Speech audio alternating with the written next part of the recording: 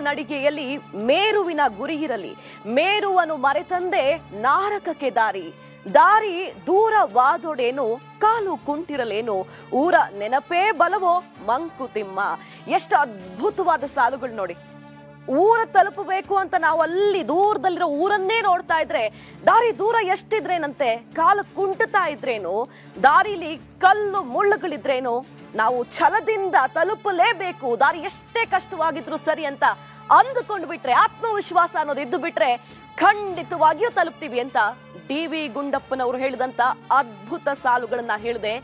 ಯಾಕೆ ಹೇಳಿದೆ ಅಂತ ನಿಮಗೆ ಆಮೇಲೆ ಅರ್ಥ ಆಗತ್ತೆ. ಇರ್ಲಿ, ಅದನ್ನ ಬದಿಗಿಡೋಣ. ಕೆಲವರು ಎಷ್ಟೇ ದೊಡ್ಡ ಸಾಧನೆ ಮಾಡಿದ್ರೂ ಕೂಡ, ಅದರಿಂದ ಎಷ್ಟೋ ಜನಕ್ಕೆ ಉಪಯೋಗ ಆಗಿದ್ರೂ ಕೂಡ ಜನರನ್ನ ಅಷ್ಟು ಬೇಗ ತಲುಪೋದಿಲ್ಲ.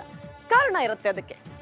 ಆದರೆ ಆ ಒಬ್ಬ ರಿಯಲ್ ಹೀರೋವನ್ನ ಇವತ್ತು ನಿಮ್ಮ ಮನೆ ಮನೆಗೆ ಮನಕ್ಕೆ ತಲುಪಿಸ್ಬೇಕು ಅನ್ನುವಂತಹ ಒಂದು ಒಳ್ಳೆಯ ಪ್ರಯತ್ನ, ಒಂದು ಅದ್ಭುತವಾದ, ಸುಂದರವಾದ ಕಾರ್ಯಕ್ರಮವನ್ನ ದಿಗ್ವಿಜಯ ನ್ಯೂಸ್ ಹಮ್ಮಿಕೊಂಡಿದೆ.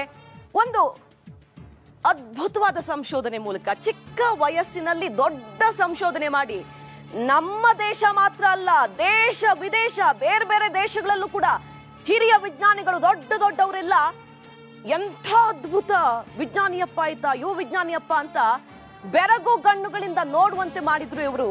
ಅಷ್ಟೇ ಅಲ್ಲ, ನನ್ನ ದೇಶ, ನಾನು ಹುಟ್ಟಿದ್ದು ಈ ದೇಶಕ್ಕಾಗಿ ಎಷ್ಟು ಕಷ್ಟ ಆದ್ರೂ ಸರಿ, ಈ ದೇಶಕ್ಕೋಸ್ಕರ ಸಾಯೋದ್ರೊಳಗೆ ಏನಾದ್ರೂ ಮಾಡ್ತೀನಿ ಅಂತ ಹೇಳುವಂತ ದೇಶ ಭಕ್ತ ಇವರು.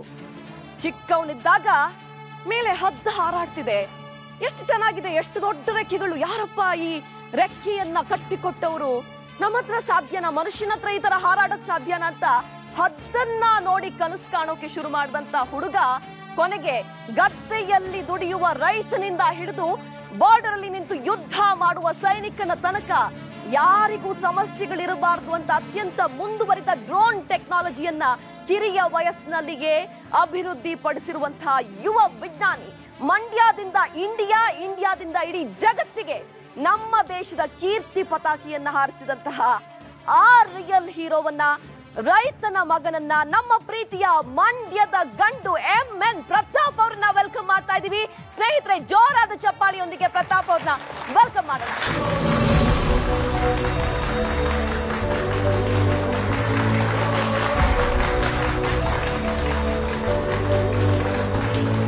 ಇವತ್ತು ನಿಮ್ಮ ಡ್ರೋನ್ ಮಾತ್ರ ಹಾರಾಡ್ತಾ ಇಲ್ಲ. ನಿಮ್ಮ ಕೀರ್ತಿ ಕೂಡ ಹಾರಾಡ್ತಾ ಇದೆ. ಇಡೀ ಕರ್ನಾಟಕದಲ್ಲಿ ಮನೆ ಮನೆಯಲ್ಲೂ ಪ್ರತಾಪ್ ನಮ್ಮ ನೆಲದ ಪ್ರತಾಪ್ ಅಂತ ಮಾತಾಡ್ತಿದ್ದಾರೆ. ಏನನ್ಸ್ತಾ ಅನ್ಸ್ತಾ ಇದೆ? ನನ್ನ ಕೀರ್ತಿಗಿಂತ ದೇಶದ ಕೀರ್ತಿ ಹಾರಾಡ್ತಿದೆ ಅಂತ ಹೇಳಲಿಕ್ಕೆ ಇಷ್ಟಪಡ್ತೀನಿ. Super super. That is Pratap. Please sit down ನಿಮ್ಮ ಜೊತೆ ಬೇಕಾದಷ್ಟು ಮಾತಾಡೋದಿದೆ. ಪ್ರತಾಪ್ ಮತ್ತೊಮ್ಮೆ ಕಾರ್ಯಕ್ರಮಕ್ಕೆ ಸ್ವಾಗತ. ಯು ಇಡೀ ಈಗಾಗಲೇ ಹೇಳಿದೆ ನಾನು ಇಡೀ ಕರ್ನಾಟಕ ನಿಮ್ಮನ್ನು ಕೊಂಡಾಡ್ತಿದೆ. ಮತ್ತಷ್ಟು ವಿಚಾರಗಳು ಮಕ್ಕಳಿಗೆ ತಲುಪ್ಲಿ. ಏನೋ ಒಂದು ಕಲಿಬೇಕು ಪ್ಯೂರ್ ಸೈನ್ಸ್ ಬಗ್ಗೆ ಇಂಟ್ರೆಸ್ಟ್ ಇದೆ ಅನ್ನೋರಿಗೆ ತಲುಪಲಿ ಅನ್ನೋ ಪ್ರಯತ್ನ ನಾವು ಮಾಡ್ತಾ ಇದೀವಿ ಖಂಡಿತ. ಪ್ರತಾಪ್ ಅನ್ನೋ ವ್ಯಕ್ತಿಯ ಸ್ಫೂರ್ತಿ ಇಡೀ ಕರ್ನಾಟಕ ತಲುಪಬೇಕು ಆ ಜವಾಬ್ದಾರಿ ನನಗೆ ಸಿಕ್ಕಿದೆ ಅಂತ ಖುಷಿ ಆಯ್ತು ನನಗೆ. ಬಹುಶಃ ಇವತ್ತು ಡ್ರೋನ್ ಬಗ್ಗೆ ಮಾತಾಡಿದ್ವಿ ನಾವು. ನೀರಲ್ಲಿ ಹೋಗೋ ಡ್ರೋನು ಮೇಲ್ ಹೋಗೋದೆಲ್ಲ ಇದೆ.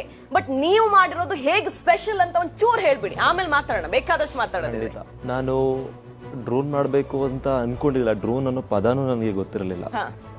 ಹದ್ದು ಆರ್ತಾ ಇತ್ತು ಮೇಲೆ. ಮೇಲಿಂದ ನೋಡಿದ್ರೆ ಹೇಗ್ ಕಾಣುತ್ತೆ ಅಂತ ನನಗೊಂದು ಐಡಿಯಾ ಇತ್ತು. ಹೆಂಗ್ ಕಾಣ್ಬೋದು ಅಂತ ಕಣ್ಣಲ್ಲಿ ನಾವು ಹೇಗ್ ಕಾಣ್ತೀವಿ ಹೌದು ಹೌದು ಹೌದು. ಮೇಲಿಂದ ನೋಡಿದ್ರೆ ಹೆಂಗ್ ಕಾಣುತ್ತೆ ಅಂತ. ಮೊದಲು ನಾನು ಡ್ರೋನ್ ಮಾಡ್ಲಿಕ್ಕೆ ಹೋಗಿಲ್ಲ. ಸಾಕಷ್ಟು ಪ್ರಯತ್ನ ಪಟ್ಟೆ ಮಾಡಲಿಕ್ಕೆ. ಸಾಕಷ್ಟು ಫೇಲ್ಯೂರ್ ಆಯಿತು. ಒಂದೆರಡು ಡ್ರೋನ್ ಕ್ರ್ಯಾಶ್ ಆಗೋಯ್ತು. ನಾನು ಟ್ರೈ ಮಾಡಿ ಫ್ಲೈ ಮಾಡಕ್ಕೆ ಟ್ರೈ ಮಾಡಿದಾಗ ಬಿಡ್ಲಿಲ್ಲ, ಮಾಡಲೇಬೇಕು, ಹೆಂಗಾದ್ರೂ ಮಾಡಿ ಫ್ಲೈ ಮಾಡಲೇಬೇಕು ಅಂದ್ಕೊಂಡು ಜಸ್ಟ್ ಒಂದು ಆಡಿನೋ ರಾಸ್ಬೆರಿ ಪೈ ಆ ಥರ ಯೂಸ್ ಮಾಡಿಕೊಂಡು ಬಿಲ್ಡ್ ಮಾಡ್ತಿದ್ದ ಡ್ರೋನ್ ಇವತ್ತು ಲೈಕ್ ಫ್ಯೂಯಲ್ವರೆಗೂ ಯೂಸ್ ಮಾಡಿ ಬಿಲ್ಡ್ ಮಾಡೋ ಲೆವೆಲ್ವರೆಗೂ ಬಂದಿದೆ.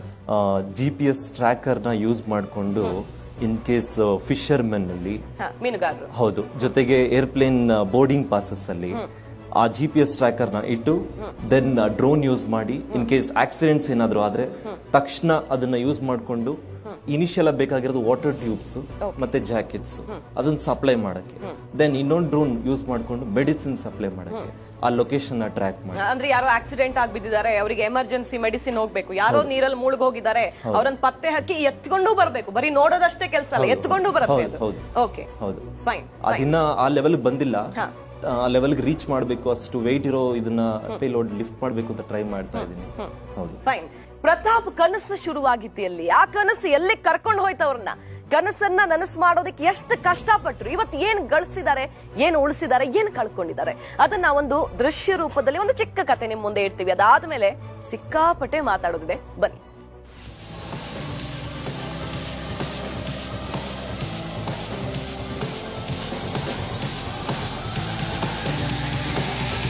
ಸಾಧಿಸುವ ಛಲವೊಂದಿದ್ದರೆ ಏನು ಬೇಕಾದರೂ ಮಾಡಬಹುದು ಅನ್ನೋ ಮಾತಿದೆ. ಇದು ನಿಜ ಕೂಡ. ಸಾಧನೆಯ ಹಾದಿಯಲ್ಲಿ ಅನೇಕ ಸವಾಲುಗಳು ಬಂದು ಬಿಡ್ತವೆ ಬಡತನವನ್ನು ಬೆನ್ನಿಗೆ ಕಟ್ಕೊಂಡು ಹುಟ್ಟಿದ ಈತನ ಕನಸು ಬೆಟ್ಟದಂತಿತ್ತು. ಅಂಥ ಸಾಧನೆ ಮಾಡೋದಕ್ಕೆ ಅಡಿಗಡಿಗೂ ತೊಡಕುಗಳಿದ್ದವು.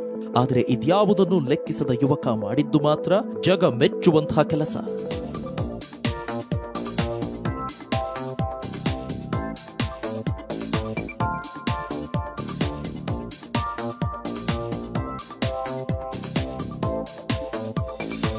ಅದು ದೂರದ ಜಪಾನ್ನಲ್ಲಿ ನಡೆಯುತ್ತಿದ್ದ ವಿಶ್ವ ಯುವ ವಿಜ್ಞಾನಿಗಳ ಸ್ಪರ್ಧೆ. ಅಲ್ಲಿ ದೇಶದ ಸಾವಿರಾರು ವಿಜ್ಞಾನಿಗಳು, ಸಂಶೋಧಕರು ತಮ್ಮ ಪ್ರಾಜೆಕ್ಟ್ಗಳನ್ನು ಪ್ರಸ್ತುತಪಡಿಸಿದ್ರು. ಆದರೆ ಇದೆಲ್ಲವೂ ಆದ ನಂತರ ಯುವಕನೊಬ್ಬ ತನ್ನ ಸಂಶೋಧನೆಯ ಅಪ್ಲಿಕೇಶನ್ ಒಂದನ್ನ ಪ್ರಸ್ತುತಪಡಿಸಿದ. ನೋಡ ನೋಡುತ್ತಿದ್ದಂತೆ ಸ್ಪರ್ಧೆಯಲ್ಲಿದ್ದವರೆಲ್ಲರೂ ಮೂಗಿನ ಮೇಲೆ ಬೆರಳಿಟ್ಕೊಂಡ್ರು. ಒಂದು ಕ್ಷಣ ಯುವಕ ಆಕರ್ಷಣೆಯ ಕೇಂದ್ರ ಬಿಂದುವಾಗಿದ್ದ ಆ ಯುವಕನೇ ಕನ್ನಡಿಗ ಮಂಡ್ಯ ಜಿಲ್ಲೆಯ ಎನ್ಎಂ ಪ್ರತಾಪ್.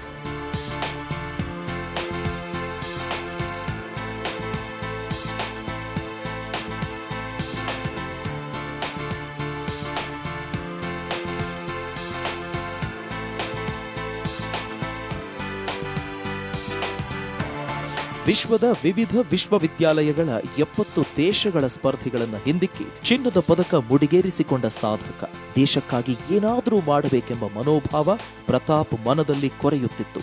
ಅದರ ಫಲವೇ ಇದೀಗ ಪ್ರತಾಪ್ ಸಂಶೋಧಿಸಿರುವ ಡ್ರೋನ್ ವಿನ್ಯಾಸ. ಪ್ರಪಂಚದ ಅತ್ಯಾಧುನಿಕ ಡಿಸೈನ್ ಎಂಬ ಹೆಗ್ಗಳಿಕೆ ಗಳಿಸಿದೆ. ತನಗಿದ್ದ ಸವಲತ್ತುಗಳು ಹಾಗೂ ಬಡತನದಲ್ಲೇ ಕಷ್ಟಪಟ್ಟು ವ್ಯಾಸಂಗ ಮುಗಿಸಿದ ಪ್ರತಾಪ್ ಛಲದಿಂದಲೇ ಜಗಮೆಚ್ಚುವಂತಹ ಸಾಧನೆ ಮಾಡಿದ್ದಾರೆ.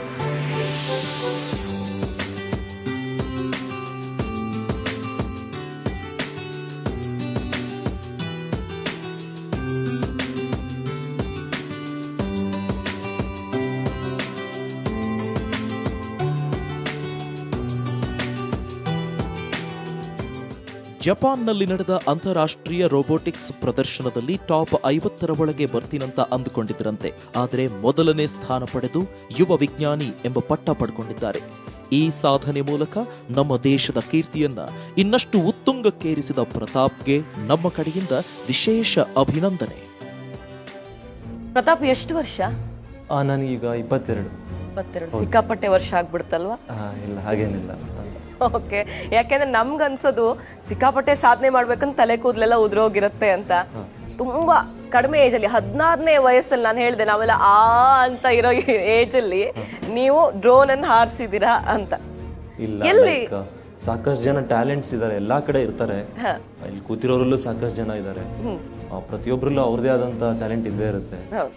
ಅದಕ್ಕೆ ಬಿಡದೆ ಪ್ರಯತ್ನ ಮಾಡ್ಬೇಕಷ್ಟೇ. ಖಂಡಿತ. ನೀವು ಓದಿದ್ದು ಮಂಡ್ಯದಲ್ಲಿ ಅಂತ ಗೊತ್ತು ನಮಗೆ. ಕನ್ನಡ ಮೀಡಿಯಮ್ಮ ಇಂಗ್ಲಿಷ್ ಮೀಡಿಯಮ್ಮ ಹೇಗೆ?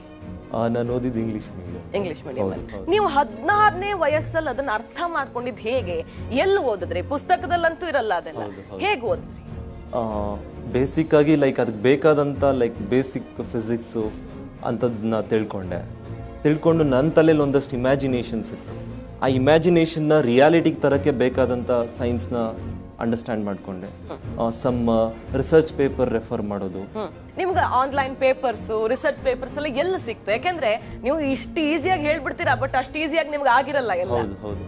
ಅಂದ್ರೆ ಲೈಕ್ ಸೈಂಟಿಸ್ಟ್ಗಳಿಗೆಲ್ಲ ಮೇಲ್ ಮಾಡ್ತಾ ಇದ್ದೆ. ಸೈಂಟಿಸ್ಟ್ಗಳಿಗೆ ಪ್ರೊಫೆಸರ್ಸ್ಗೆಲ್ಲ ನಂಗೊಂದು ಸ್ವಲ್ಪ ಟೈಮ್ ಕೊಡಿ ನಿಮ್ಮ ಜೊತೆ ಮಾತಾಡ್ಲಿಕ್ಕೆ ಅಥವಾ ನಿಮ್ಮ ಹತ್ರ ಇರೋ ಇದನ್ನ ಶೇರ್ ಮಾಡ್ಕೊಳ್ಳಿ. ನಂಗೆ ಖಂಡಿತ ಹೆಲ್ಪ್ ಆಗುತ್ತೆ.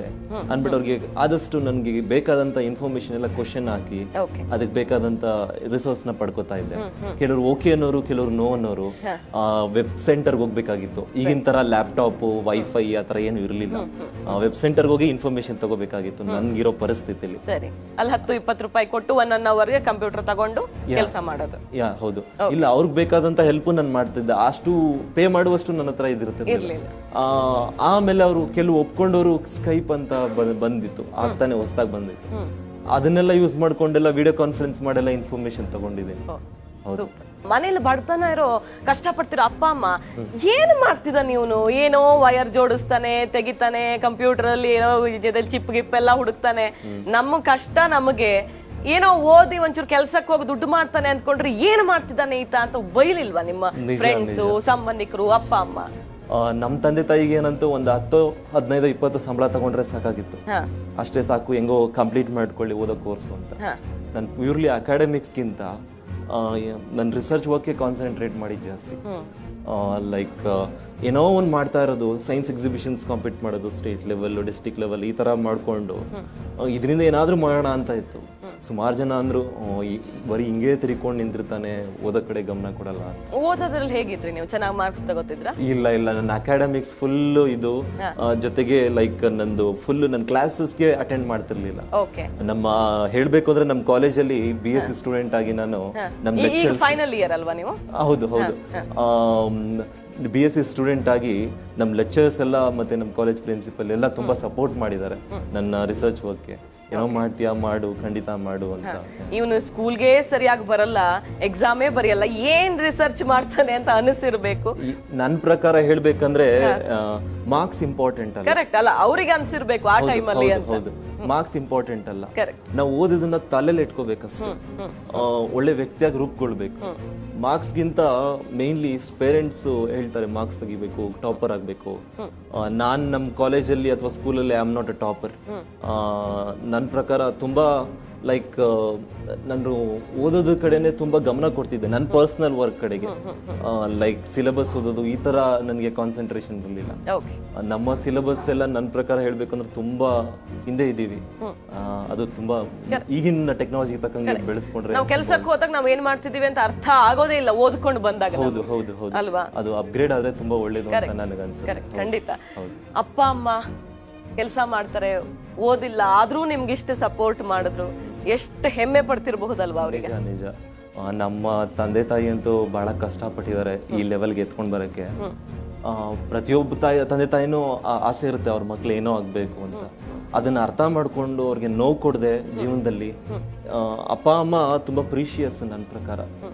ಯಾವತ್ತೂ ತಂದೆ ತಾಯಿ ಇರ್ಬೇಕು ಯಾರಿಗೆ ಆದ್ರೂ ಅವ್ರನ್ನ ನೋವಿಸಿದ್ರೆ ಈ ಬ ಮತ್ತೊಂದ್ ಕಡೆ ನಮಗ್ ನೋವಾಗುತ್ತೆ. ಅದು ನನ್ಗೆ ಅನುಭವ ಆಗಿದೆ. ಯಾವತ್ತು ತಂದೆ ತಾಯಿನ ಗೌರವಿಸ್ಕೊಂಡು ಫಸ್ಟ್ ಆಮೇಲೆ ದೇವರು ಮಿಕ್ಕಿದೆಲ್ಲ ಬರುತ್ತೆ. ಫಸ್ಟ್ ತಂದೆ ತಾಯಿನ ಗೌರವ ಕೊಟ್ಕೊಂಡು ಹೋದ್ರೆ ಹೋಗಿದ ಕಡೆ ಎಲ್ಲ ಸಕ್ಸಸ್ ಸಿಗುತ್ತೆ ಅಂತ ನನಗನ್ಸುತ್ತೆ ಖಂಡಿತ. ಪ್ರತಾಪ್ ಮಾತಾಡೋಣ. ತಂದೆ ಹತ್ರ ಹತ್ತು ರೂಪಾಯಿ ಕೇಳೋಕು ಹಿಂಜರಿತಾ ಇದ್ದ ಮಗ. ಇವತ್ತು ದುಡ್ಡು ಯಾರು ಎಷ್ಟು ಬೇಕಾದ್ರೂ ಇವ್ರನ್ನ ಕರೆದು ಕೂರಿಸಿ ಕೊಡ್ತಾರೆ. ಯಾಕೆಂದ್ರೆ ಅವ್ರ ತಲೆಯಲ್ಲಿ ಅಂಥದ್ದೊಂದು ದೊಡ್ಡ ವಜ್ರಾನೇ ಬೆಳ್ಕೊಂಡು ಬಿಟ್ಟಿದೆ. ಅಪ್ಪ ಅಮ್ಮ ಎಷ್ಟು ಮುಖ್ಯವಾಗ್ತಾರೆ ಅಪ್ಪ ಅಮ್ಮನ ನಿರ್ಧಾರ?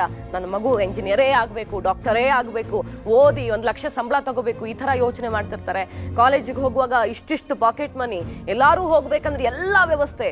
ಚಿಕ್ಕವರಿದ್ದಾಗಲೇ ಬಾಕ್ಸಿಗೆ ನಾಲ್ಕು ನಾಲ್ಕು ವೆರೈಟಿ ತಿಂಡಿಗಳು. ಇದೆಲ್ಲ ಬೇಕಾಗಿಲ್ಲ. ನಮ್ಮ ಮಕ್ಕಳನ್ನ ಮೇಲ್ ಸ್ತರಕ್ಕೆ ತಗೊಂಡು ಹೋಗಬೇಕು ಅಂದ್ರೆ ಅನ್ನೋದು ಗಮನಿಸಬೇಕಾದ ವಿಚಾರ.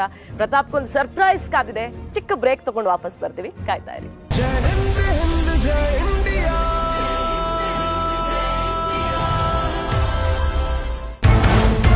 ಬರ ಸಾಲ ಮನ್ನಾ ರೊಚ್ಚಿಗೆದ್ದ ಬಿಜೆಪಿ. ಸಂಪುಟ ಸಂಕಟ, ದೆಹಲಿಗೆ ಕೈ ಪಡೆ. ಸುಳ್ವಾಡಿಯಲ್ಲಿ ಆಕ್ರೋಶ, ಸೂತಕ, ಹಂತಕರು. ವೀಕ್ಷಿಸಿ ನ್ಯೂಸ್ ಔಟ್ಲುಕ್, ರಾತ್ರಿ ಎಂಟು ಇಪ್ಪತ್ತೇಳಕ್ಕೆ.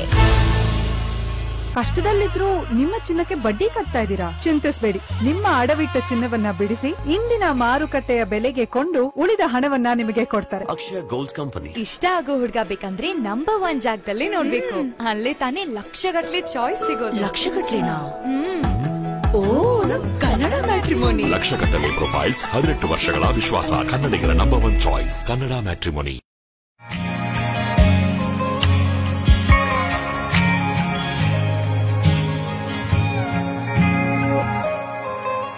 Lenin Vogue ಹೊಸ ಆಫೀಸ್ ಮಾಡಿದಾಗ್ಲಿಂದ ಬಿಸ್ನೆಸ್ ಅದ್ಭುತವಾಗಿದೆ.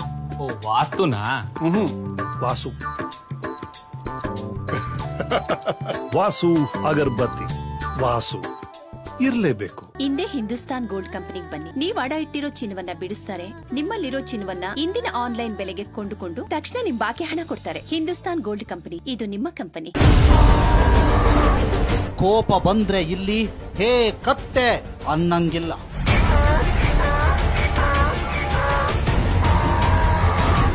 ಇಲ್ಲಿ ಮನುಷ್ಯನಿಗಿಂತ ಕತ್ತೆ ಸಂಪಾದನೆಯೇ ಹೆಚ್ಚು.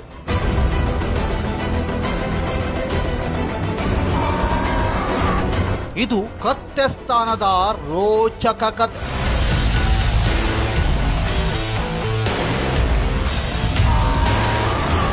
ಕತ್ತೆ ಪಾಕ್. ಇನ್ಸೈಡ್ ಸ್ಟೋರ್ ಇಂದು ರಾತ್ರಿ ಒಂಬತ್ತು ಇಪ್ಪತ್ತೇಳಕ್ಕೆ.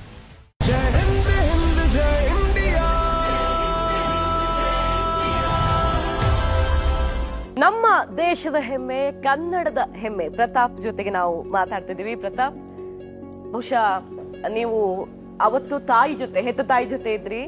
ನನ್ನನ್ನ ಹೊತ್ತು ನಿಂತಿರೋ ತಾಯಿ. ಅಂದ್ರೆ ಭಾರತಾಂಬೆಗೋಸ್ಕರ ಏನಾದ್ರು ಮಾಡ್ಬೇಕು ಅಂತ ಕೆಲಸ ಮಾಡ್ತಿದ್ರಿ? ಇವತ್ತು ಭಾರತಾಂಬೆ ಜೊತೆಗೆ ಓಡಾಡ್ತಿರ್ತೀರಾ? ಇಡೀ ದೇಶ ವಿದೇಶ ಎಲ್ಲ ಓಡಾಡ್ತಿರ್ತೀರಾ? ಆದ್ರೆ ಹೆತ್ತ ತಾಯಿ ಜೊತೆಗೆ ಜಾಸ್ತಿ ಹೊತ್ತಿರೋಕಾಗಲ್ಲ ಬಟ್ ಹೆತ್ತ ತಾಯಿ ಮಾಡೋ ತ್ಯಾಗ ಒಂದೊಂದು ಕ್ಷಣ ಎಷ್ಟು ಮುಖ್ಯ ಆಗ್ಬಿಡುತ್ತೆ ಅಲ್ವಾ? ನಿಮ್ಮ ಬದುಕು ಆ ಕಥೆ ಕೇಳಿದಾಗ ನಿನ್ನೆ ಕಣ್ಣಲ್ಲಿ ನೀರು ಬಂತು ಅನ್ನಲ್ಲ. ಬಹುಶಃ ನಿಮ್ಮ ತಾಯಿ ಪಾತ್ರ ನಿಮ್ಮ ಬದುಕಲ್ಲಿ ಎಷ್ಟು ದೊಡ್ಡದು ಅಂತ ಅನ್ಸುತ್ತೆ. ಯಾಕೆಂದ್ರೆ ನಾನು ಜಪಾನ್ಗೆ ಹೋಗೋ ಟೈಮಲ್ಲಿ ಹಣ ಸಾಕಾಗ್ಲಿಲ್ಲ ನನಗೆ ಲಗೇಜ್ಗೆಲ್ಲ ಪೇ ಮಾಡಬೇಕಾಗಿದ್ದು ಬಂತು ಆ ಟೈಮಲ್ಲಿ ನನ್ನ ತಾಯಿನೂ ಕೇಳಿದೆ ನನಗೆ ಹಣ ಸಾಕಾಗ್ತಾ ಇಲ್ಲ ಈ ಥರ ಇದೆ ಅಂತ. ಆಗ ನನ್ನ ತಾಯಿ ತನ್ನ ಮಾಂಗಲ್ಯ ತೆಗೆದುಕೊಟ್ರು ನನಗೆ. ಮಂಗ ಚೇ ಗೋಲ್ಡ್ ಚೈನ್ ಅದನ್ನ ನನಗೆ ಆ ಗೋಲ್ಡ್ ಚೈನ್ ನನಗೆ ಇಸ್ಕೊಳ್ಳೋದ ಬೇಡವಾ ಅಂತ ನನಗೆ ಇದಾಗ್ತಾ ಇತ್ತು. ಯಾಕೆಂದ್ರೆ ಅದು ಗೋಲ್ಡ್ ಚೈನ್ ಅನ್ನೋಕ್ಕಿಂತನೂ ಒಂದು ಹೆಣ್ಣಿಗೆ ಮಾಂಗಲ್ಯ ಸರ ಬಹಳ ಮುಖ್ಯ. ಹೌದು. ಸರ್ವಸ್ವ. ಹೌದು ಹೌದು.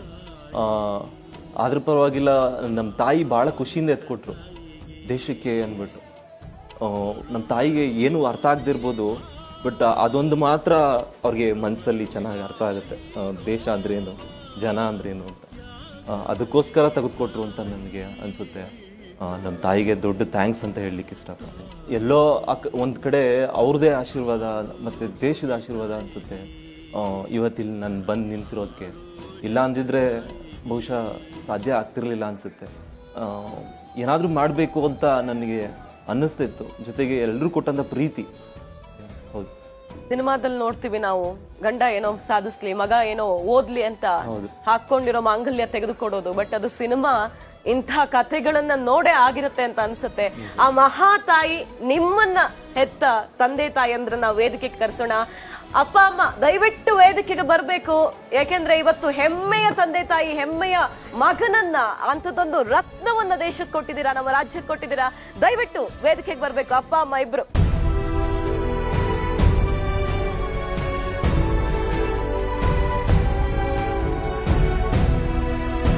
ಸವಿತಾ ಅವರು, ಮರಿಮಾದಯ್ಯನವರು ಬಹಳ ಖುಷಿ ಆಗ್ತಿದೆ ಎಷ್ಟು ಗರ್ವದಿಂದ ನಿಂತಿದ್ದಾರೆ. ಎಷ್ಟು ದಿನ ಆಯ್ತು ಅಮ್ಮ? ನೋಡಿ ಇವತ್ತು ನಿಮ್ಮ ಕೈಗೆ ಸಿಗೋದಿಲ್ಲ ಮಗ.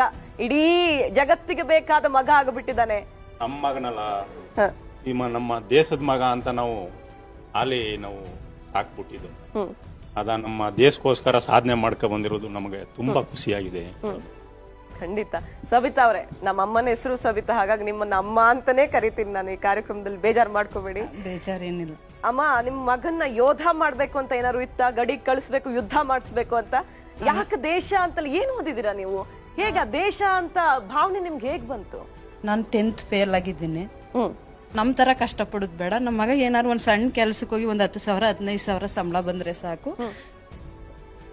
ಚೆನ್ನಾಗಿರ್ಲಿ ಅಂತ ಬಯಸ್ತಿದ್ದ. ನಾವು ಹಿಂಗಾಯ್ತಾನೆ ಅಂತ ಕನಸು ಮನಸ್ಸಲ್ಲೂ ನೆನೆಸಿರ್ಲಿಲ್ಲ. ಅನ್ಕೊಂಡಿರ್ಲಿ ಅನ್ಕೊಂಡಿರ್ ಏನಾರು ಮಗ ಏನಾರು ಅಂದ್ಕೊಂಡ್ರೆ ಅದಕ್ಕೆ ಕೊಟ್ಟು ಬಿಡ್ಬೇಕು ನೀವು.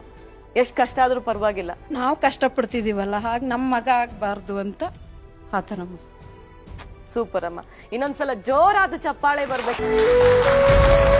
ಹಾಗೆ ಮೊಮ್ಮಗನ ಪ್ರೀತಿಯ ಅಜ್ಜಿ ಕೂಡ ನೀವು ಹೇಳಿದ್ರೆ ಆಗ್ಲೇ ಅಪ್ಪ, ಅಮ್ಮ ಇಬ್ರಿಂದನೇ ಆಗ್ತಿರ್ಲಿಲ್ಲ ನಮ್ಮ ತಾತ ಅಜ್ಜಿ ಅಥವಾ ಅಜ್ಜಿ ಮನೆಯಿಂದ ಎಷ್ಟು ಸಹಾಯ ಸಿಕ್ತು ಅಂತ. ಇವತ್ತ ಅಜ್ಜಿ ಕಣ್ಣಲ್ಲಿ ಅಷ್ಟು ಪ್ರೀತಿ ಇದೆ. ಅಜ್ಜಿ ಕೂಡ ವೆಲ್ಕಮ್ ಮಾಡೋಣ. ಅಜ್ಜಿ ಇಲ್ಲದೆ ಹೇಗೆ ಮೊಮ್ಮಗ? ಎಷ್ಟು ಪ್ರೀತಿ ಅಮ್ಮ ನಿಮ್ಗೆ? ಮೊಮ್ಮಗ ಅಂದ್ರೆ ಎಷ್ಟು ಕೆಜಿ ಪ್ರೀತಿ? ತುಂಬಾ ನಮ್ಗೆ ತುಂಬ ತುಂಬ ಪ್ರೀತಿ. ಅವನು ಸಣ್ಣದ್ರಿಂದ ಅವನು ಏನಾದ್ರೂ ಸಾಧನೆ ಮಾಡಬೇಕು. ನಮ್ಮನ್ನ ಮಮ್ಮಿ ಅಂತಲೇ ಕರೆಯೋದು ಅಜ್ಜಿ ಅನ್ನೋದಿಲ್ಲ. ನಮ್ಮೂರ ಹೆಸರು ಹಿಡಿದು ದನ್ಗೂರ್ ಮಮ್ಮಿ ನಾನು ಏನಾದ್ರೂ ಸಾಧನೆ ಮಾಡಬೇಕು. ಏನಪ್ಪ ಸಾಧನೆ ಮಾಡ್ತೀನಿ ಅಂದ್ರೆ ನೋಡು ಮಮ್ಮಿ ಮಾಡಿ ತೋರ್ತೀನಿ ಅಂದ್ರೆ ಸಣ್ಣದ್ರಿಂದ ಅವ್ನು ಸ್ಕೂಲ್ಗೆ ಹೋದ್ರೆ ಏನೋ ಸ್ಕೂಲ್ಗೆ ಹೋಗದೆ ಇದು ಏನೇನೋ ಮಾಡ್ತೀಯಲ್ಲೋ. ಅಂದ್ರೆ ಏನ್ ಮಾಡ್ತಾ ಇದ್ದ? ಅವು ಏನೋ ಒಂದು ಬೆಂಡ್ಗಳು ತಕೋದು ಒಂಥರ ಹೆಲಿಕಾಪ್ಟರ್ ತರ ಮಾಡೋದು. ಆ ಮನೆದು ಫ್ಯೂಸ್ ಕರೆಂಟ್ ಪ್ಲಗ್ಗೆ ಹೊಟ್ಟೋಗಿತ್ತು ನನಗೆ ಕರೆಕ್ಟಾಗಿ ಕನೆಕ್ಷನ್ ಕೊಡದೆ ಡೈರೆಕ್ಟ್ ತಗೊಂಡೋಗಿ ಪ್ಲಗ್ಗೆ ಕೊಟ್ಬಿಟ್ಟಿದ್ದೆ ವೈರ್ನ ಶಾರ್ಟ್ ಆಗ್ಬಿಡ್ತು. ಇಡೀ ಮನೆ ಕರೆಂಟ್ ಹೊಟ್ಟೋಗಿತ್ತು ಅಯ್ಯೋ ಹ.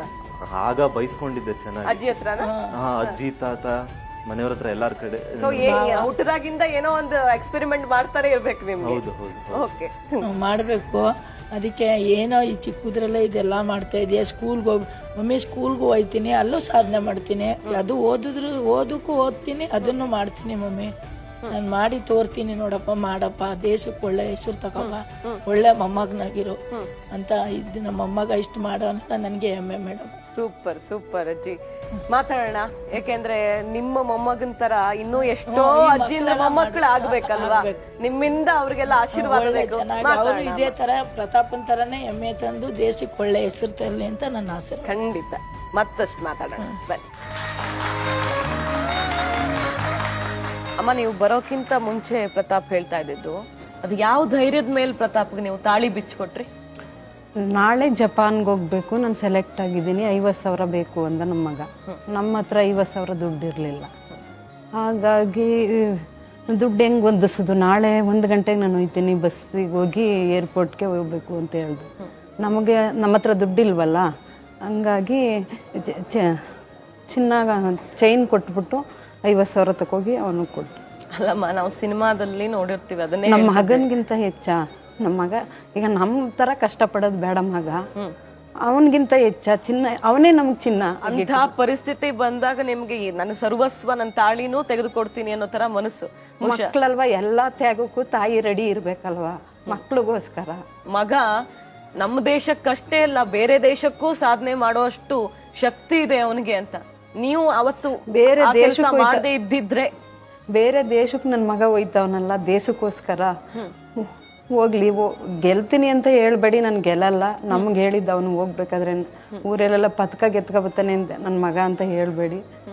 ನಾನು ಆ ದೇಶಕ್ಕೆ ಹೋಯ್ತಾನಲ್ಲ ಖುಷಿ ಪಡಿ. ಈ ಅಂತ ಹೇಳಿದ್ದ ನಮ್ಮ ಮಗ ನಮ್ಮ ಜೊತೆ. ನನ್ನ ಮಗ ಪದಕ ಗೆದ್ದುಕೊಂಡು ಬರ್ಲಿ ಅಂತ ನೀವು ನಿಮ್ಮ ಜೀವನದ ಪದಕವನ್ನ ತೆಗೆದುಕೊಟ್ಟು ಬಿಟ್ರಿ ಅವನಿಗೆ. ಅಪ್ಪ ಏನ್ ದುಡಿತಾ ಇರೋದು? ನೀವು ಏನು ಬೆಳಿತಾ ಇರೋದು? ಕೃಷಿ? ಕೃಷಿ ಅಂದ್ರೆ ನಮಗೆ ಒಂದೂವರೆ ಎಕರೆ ಜಮೀನಿತ್ತು. ಇಬ್ಬರು ಮಕ್ಕಳು ನನಗೆ. ಒಬ್ಬ ಮಗಳು ಒಬ್ಬ ಮಗ. ಇಬ್ಬರನ್ನು ಚೆಂದಾಗಿ ಓದಿಸ್ಬೇಕಲ್ಲ ನಾ ಏನು ಓದಿಲ್ಲ. ಆದರೆ ಟಿ ವಿ ಗಿವಿ ನೋಡ್ತಿದ್ದೆ ಅದರಲ್ಲಿ ನಾನು ತಿಳ್ಕೊತಾ ಇದ್ದೆ. ಯಾಕೆಂದರೆ ಈ ನ್ಯೂಸು ಇವು ನೋಡಿದ್ರೆ ಮಕ್ಕಳು ಓದಿಸ್ಬೇಕು ಸಿ ಜ್ಞಾನೋದಯ ಬರ್ಬೇಕಾದ್ರೆ. ನಾವೇನು ಹಿಂಗೆ ಓದಿಲ್ಲ. ನಮ್ಮ ಮಕ್ಕಳ ಏನಾರ ಮಾಡಿ ನನ್ನ ಸುಮಾರು ಜನ ಆಡ್ಕೊಬಿಟ್ಟಿದ್ರು. ಹೆಂಗೆ ಅಂದರೆ ನೀನು ಓದಿಲ್ಲ? ನಿನ್ನ ಮಗ ಹಿಂಗೆ ಮಾಡ್ತಾ ಓದಿಸ್ತಾ ಇದೆಯೇ? ನಿಮ್ಮ ಮಕ್ಕಳು ಓದಿಸ್ತಾ ಇದೆಯಾ? ಏನು ಮಾಡೋಕಪ್ಪ ನೀನು? ಅಂತ ಅಂತ ಇದ್ರು. ನಮ್ಮಂಗೆ ಊರ್ಲಿದ್ದು ಇವತ್ತು ನಮ್ಮ ಗ್ರಾಮಗಳಲ್ಲಿ ಮುನ್ನೂರು ರೂಪಾಯಿ ಕೂಲಿ ತಕ್ಕತಾರೆ. ಒಂದು ಗಂಟೆ, ಎರಡು ಗಂಟೆ ಕೆಲಸ ಮಾಡ್ತಾರೆ. ನಾವು ಏನು ನಮ್ಮ ದೊಡ್ಡ ಜಮೀನ್ದಾರರಲ್ಲ, ಇರುವುದೇ ಒಂದೂವರೆ ಎಕರೆ ಜಮೀನು. ನಮ್ಮ ಜೀವನಕ್ಕೆ ಮಾಡ್ಕೋದೇ ಕಷ್ಟ ಆಗಿತ್ತು ನಮಗೆ. ಆ ರೀತಿ ಮಳೆ ಇಲ್ಲ, ಬೆಳೆ ಇಲ್ಲ. ಆಮೇಲೆ ಆನೆ ಕೂಳೆ ನಮ್ದು ಕಡೆ ಗ್ರಾಮ. ಸಿಂಸ ಅಂತ ಪಕ್ಕ ಕಡೆ ಗ್ರಾಮ ನಮ್ದು. ಆನೆ ಹಂದಿ ಎಲ್ಲ ಬಾರಿ ಕೂಳೆ. ಏನೇ ಬೆಳೆ ಮಾಡಿದ್ರು ದಕ್ಸುದಿಲ್ಲ ಒಂದಷ್ಟು ರೇಷ್ಮೆ ಬೆಳೆಯೋದೊಂದು ಅದೊಂದ್ರಲ್ಲಿ ಮಾತ್ರ ನಾವು ಆದಾಯ ಅಂತ ಏನೋ ಒಂದಷ್ಟು ಎಸ್ ಎಲ್ ಸಿ ಮಗ ಮಟ್ಗಂಟ ನಮ್ಮ ಅತ್ತೆ ಮಾವ ಒಂದ್ ಸ್ವಲ್ಪ ಸಪೋರ್ಟ್ ಮಾಡಿದ್ರು. ಆ ಮಟ್ಗಂಟ ಏನೋ ಓದಿಸ್ಕೊ ಬಂದು ಯಾಕೆಂದ್ರೆ ಹಳ್ಳಿಲಿ ಓದಿದ್ರೆ ಇಂಗ್ಲಿಷ್ ಮೀಡಿಯಂ ಸಿಕ್ಕುದಿಲ್ಲ ಅಂತ ಅಲ್ಲಿ ಮಳವಳ್ಳಿ ಪಕ್ಕ. ಅಲ್ಲಿ ಓದಿಸ್ದೆ. ಎಸ್ ಎಲ್ ಸಿ ಗಂಟ ನಮ್ಮ ಅತ್ತೆ ಮಾವ ಅವರೇ ಇರಿಸ್ಕೊ ಓದಿಸಿದ್ರು. ಆಮೇಲೆ ಇವ್ರಿಗೆ ಮಾಮೂಲಿ ದುಡ್ಡು ಜಾಸ್ತಿ ಆಗ್ತದೆ ಅದರಿಂದ ನಾನು ನಮ್ಮ ಮಕ್ಕಳ ಏನಾರ ಮಾಡಿ ಓದಿಸ್ನೇ ಬೇಕಲ್ಲ ಅಂತ ಒಂದು ಅರ್ಧ ಎಕರೆ ಜಮೀನು ಮಾರ್ಬಿಟ್ಟೆ. ಮಾರಿ ತಕೋಗಿ ಜೆ ಮೈಸೂರಿಗೆ ಸೇರಿಸ್ದೆ. ಜೆ ಸಿ ಕಾಲೇಜು ಅಂತ ನನ್ನ ಮಗಳು ಸೇರಿಸ್ದೆ. ಇವನು J S S. Pratap. Pratap. Pratap ಈಗ ಅಪ್ಪ ಹೀಗೆ ಹೇಳ್ತಿದ್ದಾರಲ್ವಾ? ನೀವು ಹತ್ತತ್ತು ರೂಪಾಯಿ ಕಷ್ಟ ಪಟ್ಟಿದ್ದೀರಾ ಅಪ್ಪನ ಕೇಳಬಾರ್ದು ಅಂತ. ಈಗ ನಾ ನನ್ಗೂ ಅಂದ್ರೆ ನಿಮ್ಮಷ್ಟು ಏನು ಮಾಡಿಲ್ಲ ನಾವೆಲ್ಲ. ಲಾಸ್ಟ್ ಅಲ್ಲಿ ಲಿಸ್ಟ್ ಬರೆಯುವಾಗ ನಾವೆಲ್ಲ ಬರ್ದಿಡ್ತಿದ್ವಿ. ದುಡ್ಡು ಇದ್ದರೆ ಪೆನ್ನು ತರಬೇಕು ಅಂತ. ಸಾಮಾನ್ಯ ಲಿಸ್ಟ್ ಬರ್ಕೊಡು ಅಂತ ಅಪ್ಪ ಕೊಡೋರು. ದುಡ್ಡು ಇದ್ದರೆ ಪೆನ್ನು ತರಬೇಕು. ಹೇಳ ಅಪ್ಪ ಪೆನ್ ತಗೊಂಬ ಅಂತ ಹೇಳಕ್ ಭಯ. ದುಡ್ಡಿರತ್ತೋ ಇಲ್ವೋ ಅಂತ. ಅದೆಲ್ಲ ಮಕ್ಕಳಿಗೆ ಆ ಬುದ್ಧಿ ಬರೋದಿಲ್ಲ. ನಮಗೆ ಕಷ್ಟ ನೋಡಿದವ್ರಿಗೆ ಮಾತ್ರ ಆ ಬುದ್ಧಿ ಬರುತ್ತೆ. ಹತ್ತತ್ತು ರೂಪಾಯಿ ಕೇಳೋದಿಕ್ಕೂ ಏನೋ ಚಾಕ್ಲೇಟ್ ತಿನ್ನೋಕಲ್ಲ ಖರ್ಚು ಮಾಡಕ್ಕಲ್ಲ ನೀವೇನೋ ಕಂಡಿಡಿಬೇಕು. ಆ ಡ್ರೋನ್ ಹದಿನಾರನೇ ವಯಸ್ಸಿಗೆ ನೀವು ಹಾರಿಸಿದಿರ ಕ್ರಾಶ್ ಆಯ್ತು ಹೊಡ್ಸ್ಕೊತು ಎಲ್ಲ ಸರಿ. ಏನೋ ಮಾಡಬೇಕು ಅಂತ ಏನು ಕಷ್ಟ ಆಯ್ತು ನಿಮ್ಗೆ? ಖಂಡಿತ ನಾನು ಎಕ್ಸಿಬಿಷನ್ಸ್ಗೆಲ್ಲ ಪಾರ್ಟಿಸಿಪೇಟ್ ಮಾಡೋಕ್ಕೂ ಅದು ಸ್ವಲ್ಪ ಆಗಲಿ ಸ್ವಲ್ಪ ದುಡ್ಡು ಬೇಕಾಗಿತ್ತು. ನೂರು ಇನ್ನೂರು. ಹೌದು ಹೌದು. ಅಷ್ಟಾದ್ರೂ ಬೇಕಾಗಿತ್ತು ಒಂದು ಮುನ್ನೂರು ನಾನು ಅಷ್ಟಾದ್ರೂ ಬೇಕಾಗಿತ್ತು. ಮತ್ತೆ ಅಲ್ಲಿ ಹೋಗೋಕ್ಕೆಲ್ಲ ದುಡ್ಡು ಬೇಕಾಗಿತ್ತು. ಆ, ಈ ತರ ಮಾಡ್ಲಿಕ್ಕೆ ನಾನೇ ಟ್ಯೂಷನ್ಸ್ ಮಾಡ್ತಾ ಇದ್ದೆ ಮಕ್ಳುಗಳಿಗೆ ಹೋಗಿ. ನಾನು ಟ್ಯೂಷನ್ ಮಾಡ್ತೀನಿ ಟ್ಯೂಷನ್ ಮಾಡ್ತೀನಿ ಟ್ಯೂಷನ್ ಮಾಡ್ತೀನಿ ಅಂತ ಮನೆ ಮನೆ ಕೇಳ್ಕೊಂಡು ಹೋಗ್ತಾ ಇದ್ದೆ. ಒಂದು ನಾಲ್ಕೈದು ಮನೆ ಕೇಳಿದ್ದೆ ನಾನು. ಸುಮಾರು ಜನ ಒಪ್ಕೊಳ್ಳಿಲ್ಲ. ನೀನೇನ್ ಟ್ಯೂಷನ್ ಮಾಡ್ತೀಯಾ ನೀನೇ ಓದ್ತಾ ಇದೀಯಾ ಅಂತ. ಆಮೇಲೆ ಯಾರೋ ಒಬ್ರು ಮೈಸೂರಲ್ಲಿ ನನ್ನ ನಂಬಿ ಮಾಡಪ್ಪ ನಿಮ್ ನಿನ್ಗೇನು ಗೊತ್ತು ಅದನ್ನ ಹೇಳ್ಕೊಡಪ್ಪ ಅಂತ ಹೇಳ್ಕೊಟ್ಟು ಅದರಿಂದ ಸ್ವಲ್ಪ ಹಣ ಸಂಪಾದನೆ ಮಾಡ್ತಾ ಇದ್ದೆ. ಜೊತೆಗೆ ಅದೆಲ್ಲ ಇಲ್ಲದೆ ಎಕ್ಸಿಬಿಷನ್ಗೆಲ್ಲ ಪಾರ್ಟಿಸಿಪೇಟ್ ಮಾಡಬೇಕಾದ್ರೆ ನಮ್ಮ ಕಾಲೇಜ್ ಪ್ರೊಫೆಸರ್ಸು ಒಂದಷ್ಟು ಜನ. ವಿದ್ಯಾ ಮ್ಯಾಮ್ ಅಂತ. ಅವರು ಒಂದಷ್ಟು ಹಣ ಕೊಟ್ಟು ಶಂಕರಪ್ಪ ಸರ್ ಅಂತ ಕಾಮರ್ಸ್ ಅವರು ಅವರು ಸ್ವಲ್ಪ ಹಣ ಕೊಟ್ಟು ಈ ಥರ ಎಲ್ಲ ಸಪೋರ್ಟ್ ಮಾಡಿ ಬಂದಿರೋದು. ಅಪ್ಪ ಅಮ್ಮ ಏನು ಮಾಡ್ತಿದ್ಯಾ ಅಂತ ಕೇಳಿದ್ರ? ಯಾವ ತರ ಸಪೋರ್ಟ್ ಮಾಡ್ತಿದ್ರು ಇಬ್ರು ಅಪ್ಪ ಅಮ್ಮ. ಅವ್ರಿಗೆ ಅದೇನು ಅಂತಾನೆ ಅರ್ಥ ಆಗ್ತಿರ್ಲಿಲ್ಲ.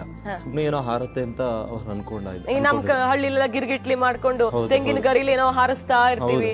ಆ- ತರ ಅನ್ಕೊಂಡ್ರು ಏನೋ ಗೊತ್ತಿಲ್ಲ. ಮೊನ್ ಮೊನ್ನೆ ತಗೊಂಡೋಗಿ ತೋರಿಸ್ದೆ ಹೇಗೆ ಆರತ್ತೆ ಅಂತ. ಸಾಮಾನ್ಯವಾಗಿ ನಾನು ಎಲ್ಲೂ ಇದ್ ಮಾಡಲ್ಲ. ಮೊನ್ ಮೊನ್ನೆ ಹೋಗಿ ಒಂದು ಚಿಕ್ಕದು ಒಂದು ತಗೊಂಡೋಗಿ ತೋರಿಸ್ದೆ. ಆ, ಬಹಳ ಖುಷಿ ಪಟ್ರು. ಆ, ಇಡೀ ಊರ್ ಜನ ಎಲ್ಲ ನಿಂತ್ಕೊಂಡು ನೋಡಿದ್ರು. ನನಗೆ ಬಹಳ ಖುಷಿ ಆಯ್ತು.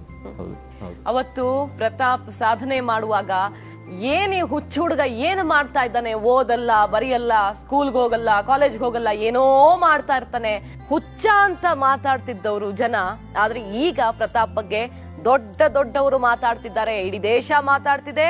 ಬೇರೆ ಬೇರೆ ದೇಶದ ದೊಡ್ಡ ದೊಡ್ಡ ವ್ಯಕ್ತಿಗಳು ಮಾತಾಡ್ತಿದ್ದಾರೆ. ನಮ್ಮ ಜೊತೆಗೆ ಬಿಜೆಪಿ ರಾಜ್ಯಾಧ್ಯಕ್ಷರು, ಮಾಜಿ ಮುಖ್ಯಮಂತ್ರಿಗಳಾಗಿರುವಂತಹ ಯಡಿಯೂರಪ್ಪನವರು ಮಾತಾಡಿದ್ದಾರೆ. ಜೆಎಸ್ಎಸ್ ಕಾಲೇಜ್ ಮೈಸೂರಿನಲ್ಲಿ ಓದ್ತಿದ್ದಂಥ ಒಬ್ಬ ವಿದ್ಯಾರ್ಥಿ ಸುತ್ತೂರು ಸ್ವಾಮೀಜಿಯವರ ವಿಶೇಷ ಪ್ರಯತ್ನದಿಂದ ಎಪ್ಪತ್ತು ದೇಶಗಳ ಯುವ ವಿಜ್ಞಾನಿಗಳ ಸ್ಪರ್ಧೆ ಜಪಾನ್ನಲ್ಲಿ ನಡೆದಾಗ ಅಲ್ಲಿ ಡ್ರೋನ್ ಆವಿಷ್ಕಾರದಲ್ಲಿ ತಮ್ಮ ಸಾಧನೆಯನ್ನು ಮಾಡಿ ತೋರಿಸಿದ್ದಾರೆ. ಇದು ಇಡೀ ದೇಶಕ್ಕೆ ಸಿಕ್ಕಿರುವಂತ ಒಂದು ಗೌರವ.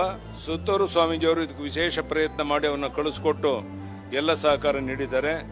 ಬಹುಶಃ ಇಂಥ ಪ್ರತಾಪ್ ಅಂತ ಒಬ್ಬ ಯುವಕ ನಮ್ಮ ದೇಶಕ್ಕೆ ಸಿಕ್ಕಿರುವಂತದ್ದು ನಮ್ಮ ರಾಜ್ಯಕ್ಕೆ ಹೆಮ್ಮೆ ತರುವಂತ ಸಂಗತಿ ನಾನು ನಾಡಿನ ಆರೂವರೆ ಕೋಟಿ ಜನರ ಪರವಾಗಿ ಪ್ರತಾಪ್ಗೆ ಅಭಿನಂದನೆಯನ್ನು ಸಲ್ಲಿಸ್ತೇನೆ.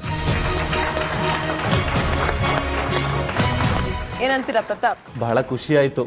ಅದರಲ್ಲೂ ಸುತ್ತೂರು ಮಠದ ಸ್ವಾಮೀಜಿಯವರು. ಅವ್ರು ಇಲ್ಲ ಅಂದಿದ್ರೆ ನಾನು ಇಲ್ಲಿ ತನಕ ಬರ್ಲಿಕ್ಕೆ ಆಗ್ತಿರ್ಲಿಲ್ಲ. ಬಹಳ ದೊಡ್ಡ ಮಟ್ಟದಲ್ಲಿ ಸಹಾಯ ಮಾಡಿದ್ದಾರೆ. ಪ್ರತಿಯೊಂದು ಕ್ಷಣದಲ್ಲೂ ಕೇಳಿ ಕೇಳಿದಾಗೆಲ್ಲ ಅದು ಒಂದು ಫೈನಾನ್ಷಿಯಲ್ ಹೆಲ್ಪ್ ಆಗಿರ್ಬೋದು. ಒಂದು ಇನ್ನೊಂದು ಹೆಲ್ಪ್ ಆಗಿರ್ಬೋದು ಮಾಡ್ಕೊಂಡು ಬಂದಿದ್ದಾರೆ. ಬಹುಶಃ ಅವ್ರು ಇಲ್ಲ ಅಂದಿದ್ರೆ ನಾನು ಇವತ್ತು ಇಲ್ಲಿ ತನಕ ಬರ್ಲಿಕ್ಕೆ ಸಾಧ್ಯ ಆಗ್ತಿರಲಿಲ್ಲ ಅನ್ಸುತ್ತೆ. ಅವ್ರಿಗೆ ತುಂಬಾ ಧನ್ಯವಾದ ಹೇಳಲಿಕ್ಕೆ ಇಷ್ಟಪಡ್ತೀನಿ.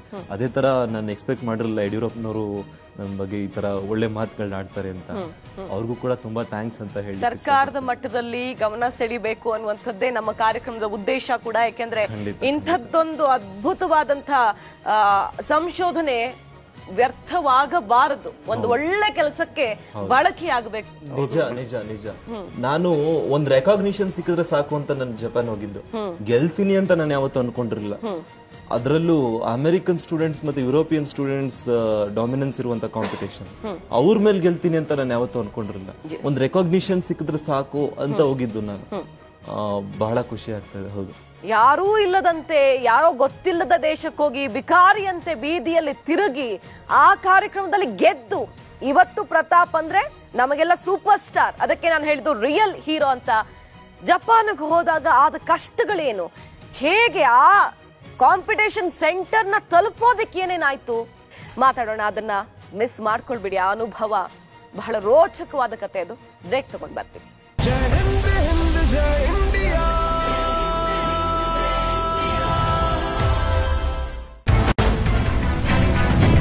ನಮ್ಮಲ್ಲಿ ಸತ್ಯ ಸಾಯಲ್ಲ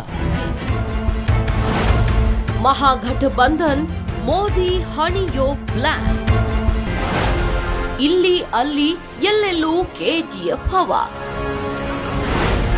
ವೀಕ್ಷಿಸಿ ನ್ಯಾಷನಲ್ ಔಟ್ಲುಕ್ ರಾತ್ರಿ ಎಂಟು ಐವತ್ತೇಳಕ್ಕೆ Upcar developers since 1974. Upcar Habitat, Upcar Gardens, Upcar Valley. ಸಾಯೋದಕ್ಕೂ ಬಿಡೋದಿಲ್ಲ.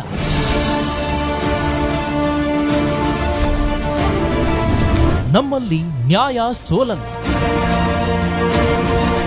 ಸೋಲೋದಕ್ಕೆ ಬಿಡೋದೇ ಇಲ್ಲ.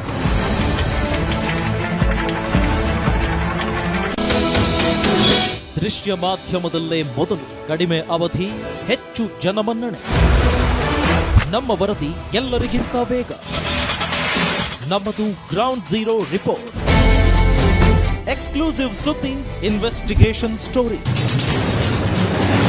ರಾಜ್ಯದಲ್ಲಿ ಮೊದಲ open studio doctor Vijay Sankeshwar ಸಾರಥ್ಯದಲ್ಲಿ Anand Sankeshwar ನೇತೃತ್ವದ ದಿಗ್ವಿಜಯ ನ್ಯೂಸ್, ಕನ್ನಡಿಗರ ಧ್ವನಿ. ಪ್ರತಿನಿತ್ಯ ದಿಗ್ವಿಜಯ ನ್ಯೂಸ್ ಮಿಸ್ ಮಾಡದೆ ನೋಡಿ.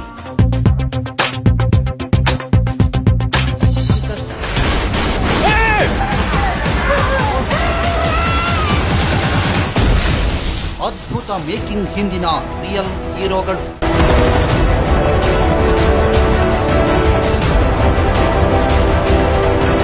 ದಿಗ್ವಿಜಯ ನ್ಯೂಸ್ನಲ್ಲಿ ರೋಚಕ ಯಶಸ್ವಿ ಗಾತ್ರ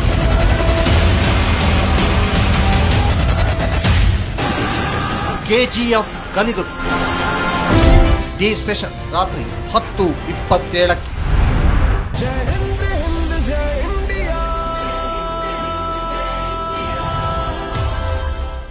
ಪ್ರತಾಪ್ ಬಹಳ ಕಷ್ಟಪಟ್ರಿ. ಕೊನೆಗೆ ನಿಮಗೆ ಸಾಧಿಸಬೇಕು ಅನ್ನೋ ಛಲದಲ್ಲಿ ಬೀದಿಲಿ ಮಲಗಬೇಕಾದ ಪರಿಸ್ಥಿತಿಯೂ ಬಂತು. ನಾವು A P J Abdul Kalam ಅವ್ರು ಹೇಗೆ ಪೇಪರ್ ಮಾರ್ಕೊಂಡು ಇವತ್ತು ಆ ಸ್ಥಾನಕ್ಕೆ ಹೋದ್ರು ಎಲ್ಲ ಕಥೆ ಗೊತ್ತು.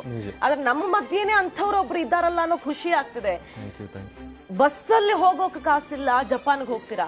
ಹೈದರಾಬಾದ್ ತನಕ ಹೋಗೋಕ್ಕೂ ನಿಮ್ಗೆ ಕಷ್ಟ ಆಗುತ್ತೆ ಅಲ್ಲಿ ಯಾರನ್ನೋ ಭೇಟಿ ಮಾಡಬೇಕು ಅಂದ್ರೆ ಏನೇನು ಸವಾಲು ಬಂತು? ಇವತ್ತು ವಿದ್ಯಾರ್ಥಿಗಳೆಲ್ಲ ಇಲ್ಲಿ ಕೂತಿದ್ದಾರೆ. ಹೇಳ್ಕೊಡಿ ಒಂದೊಂದು ಘಟನೆನೂ ಒಂದೊಂದು ರೋಚಕವಾದ ಪಾಠ ಅದು.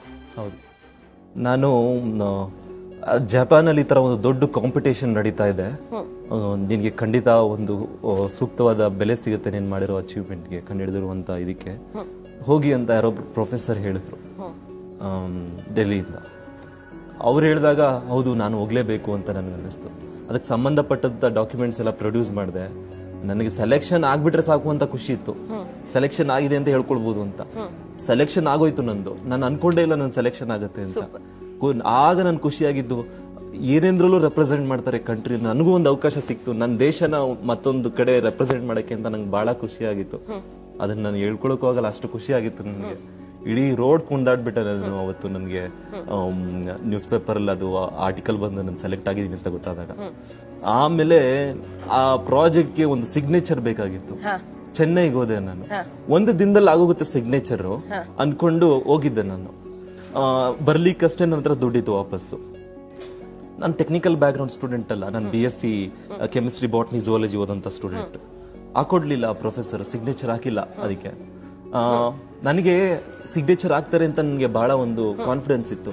ಯಾವಾಗ ಹಾಕ್ಲಿಲ್ಲ? ಅಟ್ಲೀಸ್ಟ್ ನಾಳೆಗಾದ್ರೂ ಹಾಕ್ಸ್ಕೊಂಡು ಹೋಗೋಣ ಇದ್ದು ವೆಯ್ಟ್ ಮಾಡಿ.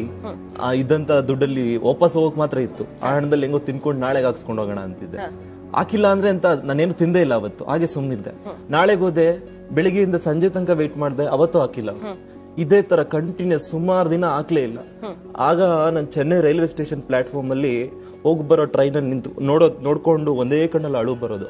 ಊಟನೂ ಇಲ್ಲ ಖಾಲಿ ಆಗುತ್ತೆ ಇರೋ ದುಡ್ಡೆಲ್ಲ ಖಾಲಿ ಆಗೋದು ಬಹಳ ಸುಸ್ತಾಗಿದ್ದೆ ನಾನು. ಉಳ್ಕೊಂಡಿದ್ ರೈಲ್ವೆ ಸ್ಟೇಷನ್ ಅಲ್ಲಿ. ಹೌದು. ಬಟ್ ನನಗೇನಂದ್ರೆ ಬಟ್ಟೆ ಒಗ್ದೊಗ್ದು ಒಗ್ದು ಹಾಕೋತಾ ಇದ್ದೆ ಅಲ್ಲಲ್ಲೇ. ಹೌದು. ಅಲ್ಲಿ ಸ್ನಾನದ ಮನೆ ಇತ್ತು ಒಂದು. ಬರೀ ರಿಸರ್ವೇಶನ್ ಟಿಕೆಟ್ ಅವ್ರಿಗೆ ಮಾತ್ರ ಇತ್ತು. ಅಲ್ಲಿಗೂ ಒಳಗಡೆಗೂ ಬಿಡ್ತಾ ಇರಲಿಲ್ಲ. ಏನೋ ಒಂದೆರಡು ದಿನ ಬಿಟ್ಟರು ಆಯ್ತು. ಆಮೇಲೆ ಪ್ಲಾಟ್ಫಾರ್ಮ್ ಇವ್ರು ಬಂದು ಏನಕ್ಕೆ ಇಲ್ಲೇ ಇದೆಯಾ ಅಂತ ಕೇಳಿದ್ರು. ಆಮೇಲೆ ನೆಕ್ಸ್ಟ್ ಪ್ಲಾಟ್ಫಾರ್ಮ್ ನೆಕ್ಸ್ಟ್ ಪ್ಲಾಟ್ಫಾರ್ಮ್ ಅಂತ ಇಟ್ಕೊಂಡು ಹೋಗಿ ಬಿಡದೆ ನಂದು ಅಲ್ಲೇ ಕೊನೆ ಆದರೂ ಕೊನೆ ಅಂದ್ಕೊಂಡು ನಾನು ಸಿಗ್ನೇಚರ್ ತಗೊಳ್ಳೇಬೇಕು ಅಂತ ಹೋಗಿದ್ದೆ ನಾನು. ಕೊನೆಗೂ ಅದು ಒಂದು ಸಿಕ್ತು ನನಗೆ ಬಹಳ ಖುಷಿ ಆಗುತ್ತೆ. ಹಿಂದೆ ತಿರುಗಿ ನೋಡಿದ್ರೆ ಇಲ್ಲಿ ತನಕ ಬಂದಿದ್ದೀನ ಅಂತ ನನಗೆ ಅನ್ಸುತ್ತೆ. ದುಡ್ಡು ಉಳ್ಕೊಂಡಿತ್ತ ಸ್ವಲ್ಪ? ಇರಲಿಲ್ಲ ದುಡ್ಡು. ಆಮೇಲೆ ಹೆಂಗೋ ಮ್ಯಾನೇಜ್ ಮಾಡಿಕೊಂಡು ಸೀಟ್ ಕೇಳಕ್ಕೆ ಸೇರಿಕೊಂಡು ಟಾಯ್ಲೆಟ್ ಕೇಳಕ್ಕೆ ಸೇರಿಕೊಂಡು ಆಮೇಲೆ ಒಂದು ಟಿ ಟಿ ನೆಕ್ಸ್ಟ್ ಸ್ಟೇಷನ್ ಬರ್ತಾರೆ ಅಂತ ಗೊತ್ತಾಯ್ತು. ಬಂದಾಗ ಇಳ್ಕೊಂಡು ಮತ್ತೆ ಇನ್ನೊಂದು ಟ್ರೈನ್ ತಗೊಂಡು ಹತ್ಕೊಂಡು ಬಂದಿದ್ದೀನಿ. ಹೌದು. ಅಂದ್ರೆ ಟಿಕೆಟ್ ತಗೊಳಕ್ ದುಡ್ಡಿಲ್ಲ ಕದ್ದು ಮುಚ್ಚಿ. ಮರಿಮಾದಯ್ಯನವ್ರೆ ಮಗ ಕಷ್ಟ ಆದ್ರೂ ಪರವಾಗಿಲ್ಲ ಯಾರು ತಂದೆ ತಾಯಿ ಇನ್ನೊಬ್ರ ಹತ್ರ ಬೇಡೋ ತರ ಆಗ್ಲಿ ಅಂತ ಬಯಸೋದಿಲ್ಲ. ಇನ್ನೊಬ್ರ ಹತ್ರ ತಲೆ ತಗ್ಸೋಂಗಾಗ್ಲಿ ನೋಡಿ ಈ ತರ ಬಸ್ ಸ್ಟ್ಯಾಂಡ್ ಅಲ್ಲಿ ರೈಲ್ವೆ ಸ್ಟೇಷನ್ ಅಲ್ಲಿ ಮಲಗ್ಲಿ ಮಗ ಅಂತ ಬಯಸೋಲ್ಲ. ಇದೆಲ್ಲ ಹೇಳ್ಕೊಂಡಿದಾರ ಪ್ರತಾಪ್ ನಿಮ್ಮ ಹತ್ರ? ನಮ್ಗೆ ಹೇಳ್ಕಂದಿಲ್ಲ ಮೇಡಮ್ ಅವರೇ. ನೊಂದ್ಕತ್ತರೆ ನಮ್ಮ ತಂದೆ ತಾಯಿ ಅನ್ನೋದಕ್ಕೆ ನಮ್ಮ ಹತ್ರ ಹೇಳ್ಕಂದಿರ್ಲಿಲ್ಲ ಮೇಡಮ್ ಅವರೇ. ಯಾಕೆ ಅಂದರೆ ನಮ್ಮ ತಂದೆ ತಾಯಿ ಬಡತನದಿಂದ ಇರೋರು ಇನ್ನೇನಾರ ನಮಗೋಸ್ಕರ ಇರೋ ಜಮೀನು ಕಳ್ಕೊಂಡು ಇವರು ಬೀದಿಗೆ ಬಂದ್ಬಿಟ್ಟರು ಅನ್ನೋದಕ್ಕೆ ಅವನು ನೊಂದ್ಕೊಂಡು ಹೇಳ್ಕಂದಿಲ್ಲ ನನಗೆ. ನನಗೇನಿತ್ತು ಅಂದ್ರೆ ಅವತ್ತು ಅವ್ರು ಫೋನ್ ಮಾಡೋರು ಮಧ್ಯ ಮಧ್ಯೆ ಒಂದೊಂದ್ಸಲ. ಹೇಳುವೆ ಇಲ್ಲ ಇಲ್ಲ ಚೆನ್ನಾಗಿದ್ದೀನಿ ರೂಮ್ ಕೊಟ್ಟಿದ್ದಾರೆ ಒಂದು ಕಡೆ ಆ ರೂಮಲ್ಲಿ ಇದ್ದೀನಿ ಅಲ್ಲಿದ್ದೀನಿ ಇಲ್ಲಿದ್ದೀನಿ ಅಂತ ಹೇಳುವೆ. ನಿಮ್ಗೆ ಗೊತ್ತಾ ಮಗ ಇಷ್ಟು ಕಷ್ಟಪಟ್ಟ ಎಲ್ಲಿದೆ ಪ್ರತು ಅಲ್ಲಿ ರೂಮ್ ಕೊಟ್ಟಿದ್ದಾರೆ ರೂಮಲ್ಲೇ ಇದ್ದೀನಿ. ಚೆನ್ನಾಗಿದ್ದೀನಿ ಅಂತ ಹೇಳ್ತೀನಿ ಮೇಲ್ಗಡೆ ದೊಡ್ಡ ಫ್ಲೋರ್ ಇಲ್ದಿದ್ರು ಪರವಾಗಿಲ್ಲ. ತನ್ನ ತೊಡೆ ಮೇಲೆ ಮಲಗಿಸ್ತೋತಾಳೆ ತಾಯಿ. ಆದ್ರೆ ಅಂತ ಕಡೆಗಳಲ್ಲಿ ಕಷ್ಟಪಟ್ಟು ಬರ್ಲಿ ಅಂತ ಯಾರೂ ಅಂದ್ಕೊಳ್ಳಲ್ಲ ಅಲ್ವಾ ಸರ್?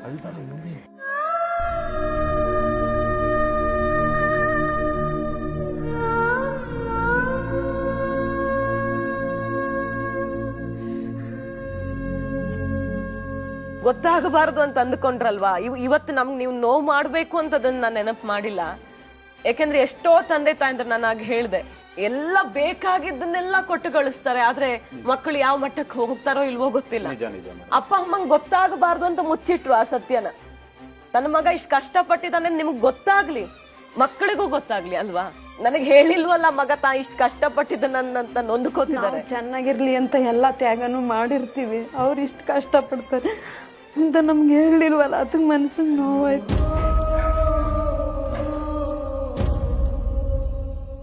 ನೀವು ಕಣ್ಣೀರ್ ಹಾಕಿದ್ರೆ ಮಗಂಗ್ ಬೇಜಾರಾಗತ್ತೆ ಆದ್ರ ನಿಮ್ ನೀವು ಶಕ್ತಿ ತುಂಬ ಕಳಿಸ್ಬೇಕಲ್ವಾ ಮಗಂಗೆ?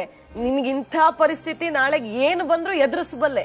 ನೀವು ಕುಡಿಸಿದ ಹಾಲಿನ ಗಟ್ಟಿತನ ಅವನ ಹತ್ರ ಇದೆ ಮಾಡ್ತಾನೆ ಅವನು ಅಲ್ವಾ?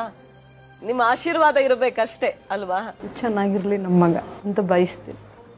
ಇಲ್ಲಿ ಕೂತಿರೋರ್ಗೂ ಕೂಡ ಒಂಥರ ರೋಮಾಂಚನ ಆಗ್ತಿರತ್ತೆ. ಯಾಕೆಂದ್ರೆ ಇಷ್ಟು ಕಷ್ಟ ಪಡ್ಬೇಕಾ ರೈಲ್ವೆ ಸ್ಟೇಷನ್ ಅಲ್ಲಿ ಮಲಗೋದು ಸಿಕ್ಕ ಸಿಕ್ಕ ನಲ್ಲಿಯಲ್ಲಿ ಬಟ್ಟೆ ಹಾಕೊಂಡು ಬಟ್ಟೆನ ಒಗೆದು ಹಾಕೊಳ್ಳೋದು ವಾರಗಟ್ಲೆ ಉಪವಾಸ ಮಾಡೋದು. ನಿಮಗೊಬ್ಬರಿಗಲ್ಲ ಆ ತರ ಹಸಿವು ಕಂಡ ಇನ್ನೊಬ್ರು ಸಾಧಕರು ನಮ್ಮ ಜೊತೆಗೆ ದೂರವಾಣಿ ಸಂಪರ್ಕದಲ್ಲಿ ಇದ್ದಾರೆ. ವಿಜಯ್ ಪ್ರಕಾಶ್ ಸರ್ ಖ್ಯಾತ ಗಾಯಕರು ನಮ್ಮ ಜೊತೆಗೆ ಲೈನ್ ಅಲ್ಲಿ ಇದ್ದಾರೆ ಸರ್ ನಮಸ್ಕಾರ. ನಮಸ್ಕಾರ ನಮಸ್ಕಾರ. ಸರ್ ಖುಷಿ ಆಯ್ತು ನೀವು ಲೈನಿಗೆ ಬಂದಿದ್ದು ನಿಮ್ಮ ಮೈಸೂರಿನ ಹುಡುಗ. ಬಹುಶಃ ಆತನ ಕಷ್ಟ ಕೇಳಿದ್ರೆ ನಿಮ್ಮ ಕಷ್ಟದ ದಿನಗಳು ಕೂಡ ನೆನಪಾಗುತ್ತೆ. ನಿಮ್ಮ ಆ ಅನುಭವ ಸರ್ ಕಷ್ಟದಿಂದಾನೇ ಸುಖ ಹುಟ್ಟೋದು ಅನ್ನೋದಕ್ಕೆ. ಅಲ್ಲ ಅದು ನನಗೆ ಅನ್ಸೋದು ಏನಂದ್ರೆ ಭಗವಂತ ಕೆಲವು ಪುಣ್ಯವಂತರಿಗೆ ಮಾತ್ರ ಈ ಕಷ್ಟಗಳನ್ನು ಕೊಡೋದು. ಅಂದ್ರೆ ಅದನ್ನ ಸಹಿಸುವ ಶಕ್ತಿ ಯಾರಿಗಿರುತ್ತೋ ಅವ್ರಿಗೆ ಮಾತ್ರ ಭಗವಂತ ಕಷ್ಟ ಕೊಡ್ತಾನೆ ಯಾರಿಗೆ ಸಹಿಸುವ ಶಕ್ತಿ ಇರಲ್ಲೋ ಅವ್ರನ್ನ ಸುಖದಲ್ಲೇ ಇಟ್ಟು ಕಳಿಸ್ಬಿಡ್ತಾನೆ. ಬೇಡಪ್ಪ ನಿಮ್ಗೆ ಆಗಲ್ಲ ಅವೆಲ್ಲ. ಅದು ಕೆಲವರಿಗೆ ಮಾತ್ರ ಸಾಧ್ಯ ಅಂತ. ಸೊ ಆ ಒಂದು ನಿಟ್ಟಿನಲ್ಲಿ ನಾನು ಪುಣ್ಯವಂತ ಬಟ್ ಇವತ್ತು ನನ್ನ ಕಥೆ ಎಲ್ಲ ಇದು ನಮ್ಮ ಪ್ರತಾಪ್ ಅವರ ಕಥೆ. ಪ್ರತಾಪ್ ಅವರೇ ಬಹಳ ಹೆಮ್ಮೆ ಆಗತ್ತೆ ನಿಮ್ಮ ಈ ಒಂದು ಇಲ್ಲಿವರೆಗಿನ ಪಯಣವನ್ನ ನೋಡಿ. ಆ, ಖಂಡಿತ ನನಗೆ ನಿಮ್ಮ ಪಯಣದಲ್ಲಿ ನನ್ನ ಕೆಲವು ದಿನಗಳು ಕಾಣುತ್ತೆ. ಆ ಖಂಡಿತವಾಗಿಯೂ ಕೈ ಕೆಸರಾದ್ರೆ ಬಾಯಿ ಮೊಸರು ಅಂತ ಹಿರಿಕರು ಏನ್ ಹೇಳಿದ್ದಾರೆ ಅದರಲ್ಲಿ ಒಂದೊಂದು ಅಕ್ಷರವೂ ಸತ್ಯ.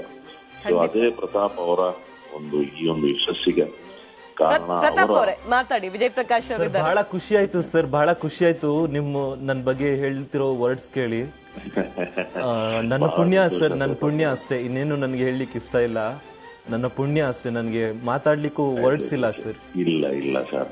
ನಿಮ್ಮ ನಿಮ್ಮ ಕಥೆ ಈ ವಾಹಿನಿಯಲ್ಲಿ ಬಂದಂತಹ ಕಾರ್ಯಕ್ರಮ ಇವತ್ತು ಎಷ್ಟು ಎಷ್ಟು ಅವಾರ್ಡ್ಗಳಲ್ಲಿ ನಿಮ್ಮ ಈ ಒಂದು ಸಾಧನೆ ಎಲ್ಲರನ್ನು ಮುಟ್ಟಿದೆ ಬಹು ಮುಖ್ಯವಾಗಿ ನನಗೇನಂದ್ರೆ ಅಫ್ಕೋರ್ಸ್ ಹಸಿವು ಖಂಡಿತವಾಗಿಯೂ ಹೊಟ್ಟೆಯಲ್ಲಿರೋ ಹಸಿವಿಗಿನ್ನ ಸಾಧನೆ ಮಾಡಬೇಕು ಅನ್ನೋ ಹಸಿವಿರುತ್ತಲ್ಲ ಅದು ಮನುಷ್ಯನನ್ನ ದೂರ ಕರ್ಕೊಂಡು ಹೋಗುತ್ತೆ. ನಿಜ ಸರ್ ನಿಜ. ಹೊಟ್ಟೆಗಿರೋ ಹಸಿವು ಹತ್ರದಲ್ಲಿ ಊಟ ಸಿಕ್ಕಿದ್ರೆ ಮುಗ್ದ ಹುಡುಕಾದ್ರೆ ಸಾಧನೆ ಮಾಡಬೇಕು ಅನ್ನೋ ಹಸಿವು ಮನುಷ್ಯನ ಎಷ್ಟೋ ಮೈಲ್ಗಳ ದೂರ ಕರ್ಕೊಂಡು ಹೋಗ್ಬಿಡುತ್ತೆ. ಸೊ ಇವರು ಜಪಾನ್ ವರೆಗೂ ಹೋಗಿ ಆ ಸಾಧನೆ ಮಾಡಿ ಇಡೀ ಇಡೀ ಜಗತ್ತು ಸರ್ ಇವತ್ತು ಕರೀತಾ ಇದೆ ಅವ್ರಿಗೆ ಬನ್ನಿ ನಮ್ಮ ದೇಶಕ್ಕೆ ಬನ್ನಿ ಕೆಲಸಕ್ಕೆ ಬನ್ನಿ ಅಂತ. ನೀವು. ಅವತ್ತು ಮುಂಬೈಯಲ್ಲಿ ರೈಲ್ವೆ ಸ್ಟೇಷನ್ ಅಲ್ಲಿ ಹೇಗೆ ಮಲಗಿದ್ರೋ ಅದೇ ತರ ಇವತ್ತು ಹೈದರಾಬಾದ್ ಹೌದು. ಚೆನ್ನೈಯಲ್ಲಿ ಅವ್ರಿಗೂ ಆಗಿದೆ ಪರಿಸ್ಥಿತಿ. ಇಲ್ಲ ಹೌದು. ಏನಂದ್ರೆ ಎಷ್ಟೋ ಕಥೆಗಳು ಈ ರೀತಿ ಇವೆ. ಕೆಲವು ಕಥೆಗಳು ಕಣ್ಮುಂದೆ ಬರುತ್ತವೆ ಕೆಲವು ಬರದೇ ಹೋಗ್ಬೋದು. ಆದ್ರೆ ಆ ಅದಕ್ಕೆಲ್ಲಾ ಸಾಧಕರಿಗೂ ಒಂದು ಸಲ ಒಂದು ಸಲ್ಯೂಟ್. ಎಷ್ಟೋ ಮಂದಿ ಇವತ್ತು ಪ್ರತಾಪ್ ನೋಡಿ ನಾನು ಏನೋ ಮಾಡ್ಬೇಕು. ಕಷ್ಟ ಅನ್ನೋದು ಎಲ್ರಿಗೂ ಇರುತ್ತೆ ಆದ್ರೆ ಕಷ್ಟದಿಂದ ಹೊರಗೆ ಬರೋದಿದೆಯಲ್ಲ ಅದೇ ಸಾಧನೆ.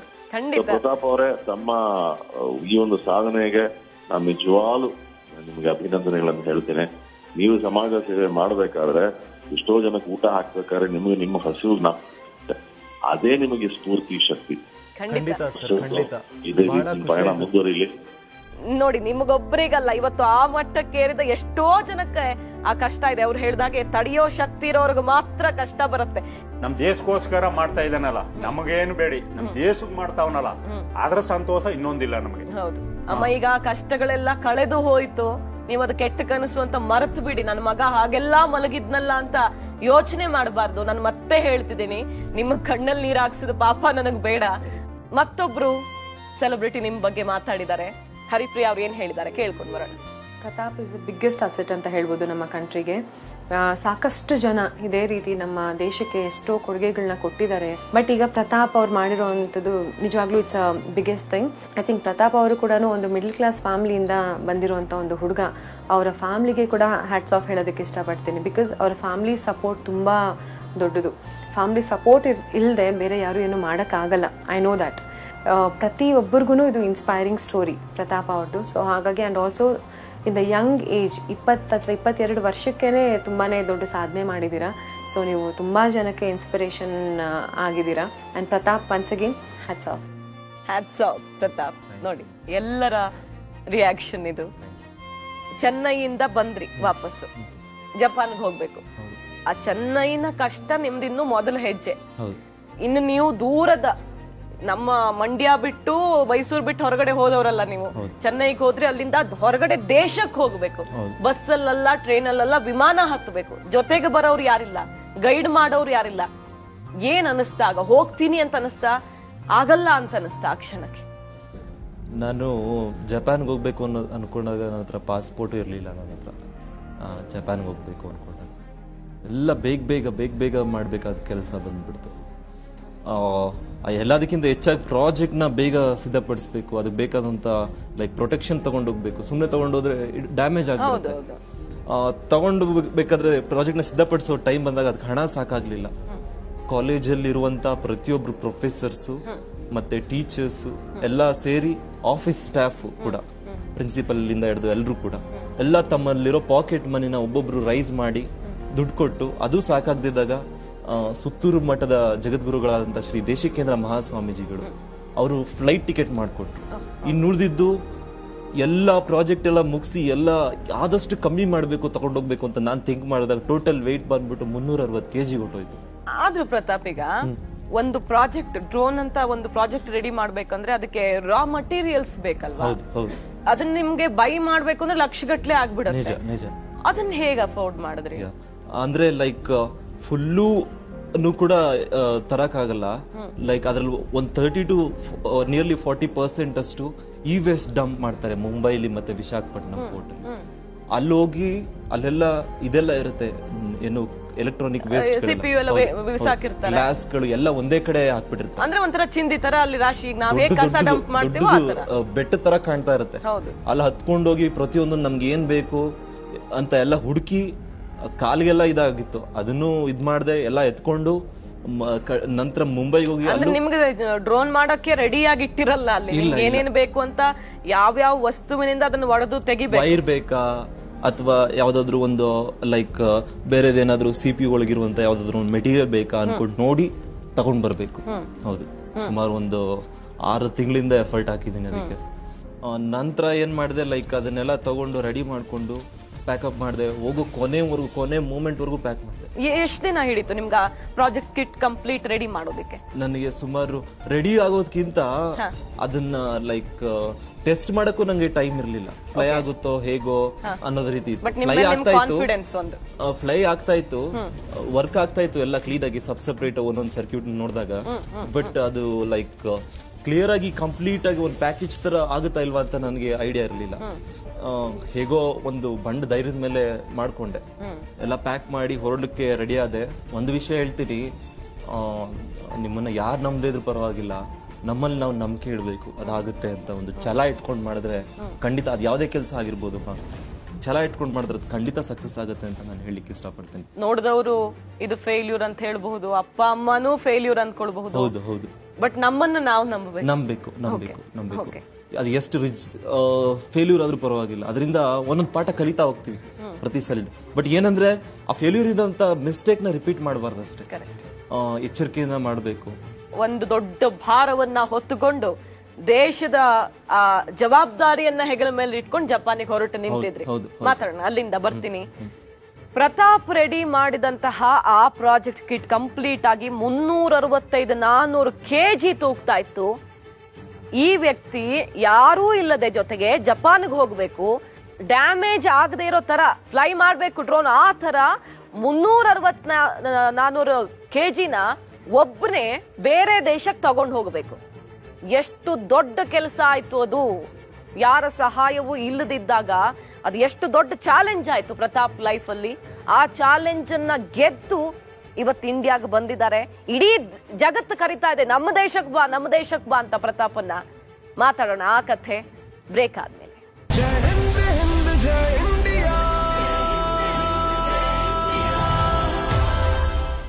ಈ ಕಾರ್ಯಕ್ರಮದ ಸಹ ಪ್ರಾಯೋಜಕರು ಹೋಮಿಯೋ ಕೇರ್ ಇಂಟರ್ನ್ಯಾಷನಲ್ನಲ್ಲಿ ಪರಿಹಾರ ಶತಸಿದ್ಧ. ಬರ ಸಾಲವನ್ನ ಮನ್ನಾ ರೊಚ್ಚಿಗೆದ್ದ ಬಿಜೆಪಿ. ಸಂಪುಟ ಸಂಕಟ ದೆಹಲಿಗೆ ಕೈ ಪಡೆ ಸುಳ್ವಾಡಿಯಲ್ಲಿ ಆಕ್ರೋಶ, ಸೂತಕ, ಹಂತಕರು. ವೀಕ್ಷಿಸಿ ನ್ಯೂಸ್ ಔಟ್ಲುಕ್ ರಾತ್ರಿ ಎಂಟು ಇಪ್ಪತ್ತೇಳಕ್ಕೆ. ಹಿಂದೆ ಹಿಂದೂಸ್ತಾನ್ ಗೋಲ್ಡ್ ಕಂಪನಿಗೆ ಬನ್ನಿ.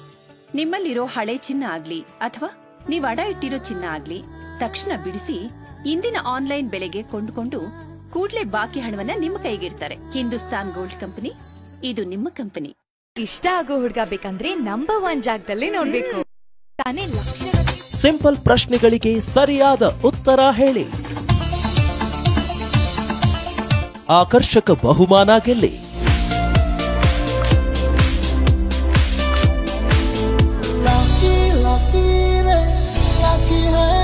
ವೀಕ್ಷಿಸಿ ಲಕ್ ಲಕ್ಷ್ಮಿ. ಕಾಲ್ ಮಾಡಿ ಪ್ರೈಸ್ ಗೆಲ್ಲಿ. ನೇರ ಪ್ರಸಾರ. ಮಧ್ಯಾಹ್ನ ಎರಡು ಮೂವತ್ತಕ್ಕೆ.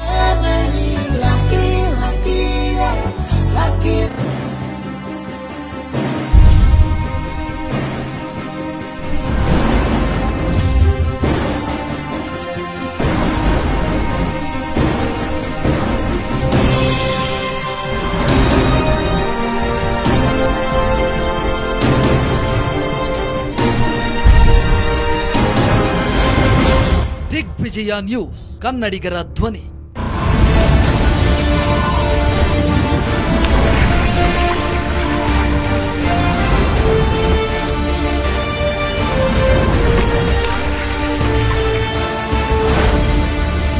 ದಿಗ್ವಿಜಯ ನ್ಯೂಸ್ ಕನ್ನಡಿಗರ ಧ್ವನಿ. ನಮ್ಮಲ್ಲಿ ಸತ್ಯ ಸಾಯಲ್ಲ. ಸಾಯೋದಕ್ಕೂ ಬಿಡೋದಿಲ್ಲ.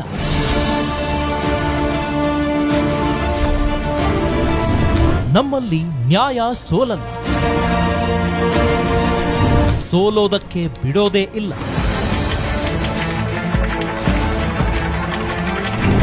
ಅನ್ಯಾಯ ಕಂಡ್ರೆ ಪ್ರಶ್ನಿಸ್ತೀವಿ. ಹನುಮನ ಮೊರೆ ಹೋದ್ರು fans black ಟಿಕೆಟ್ಗಾಗಿ deadly attack Kamachi steels presents big Bengaluru ವೀಕ್ಷಿಸಿ ರಾತ್ರಿ ಒಂಬತ್ತು ಐವತ್ತೇಳಕ್ಕೆ.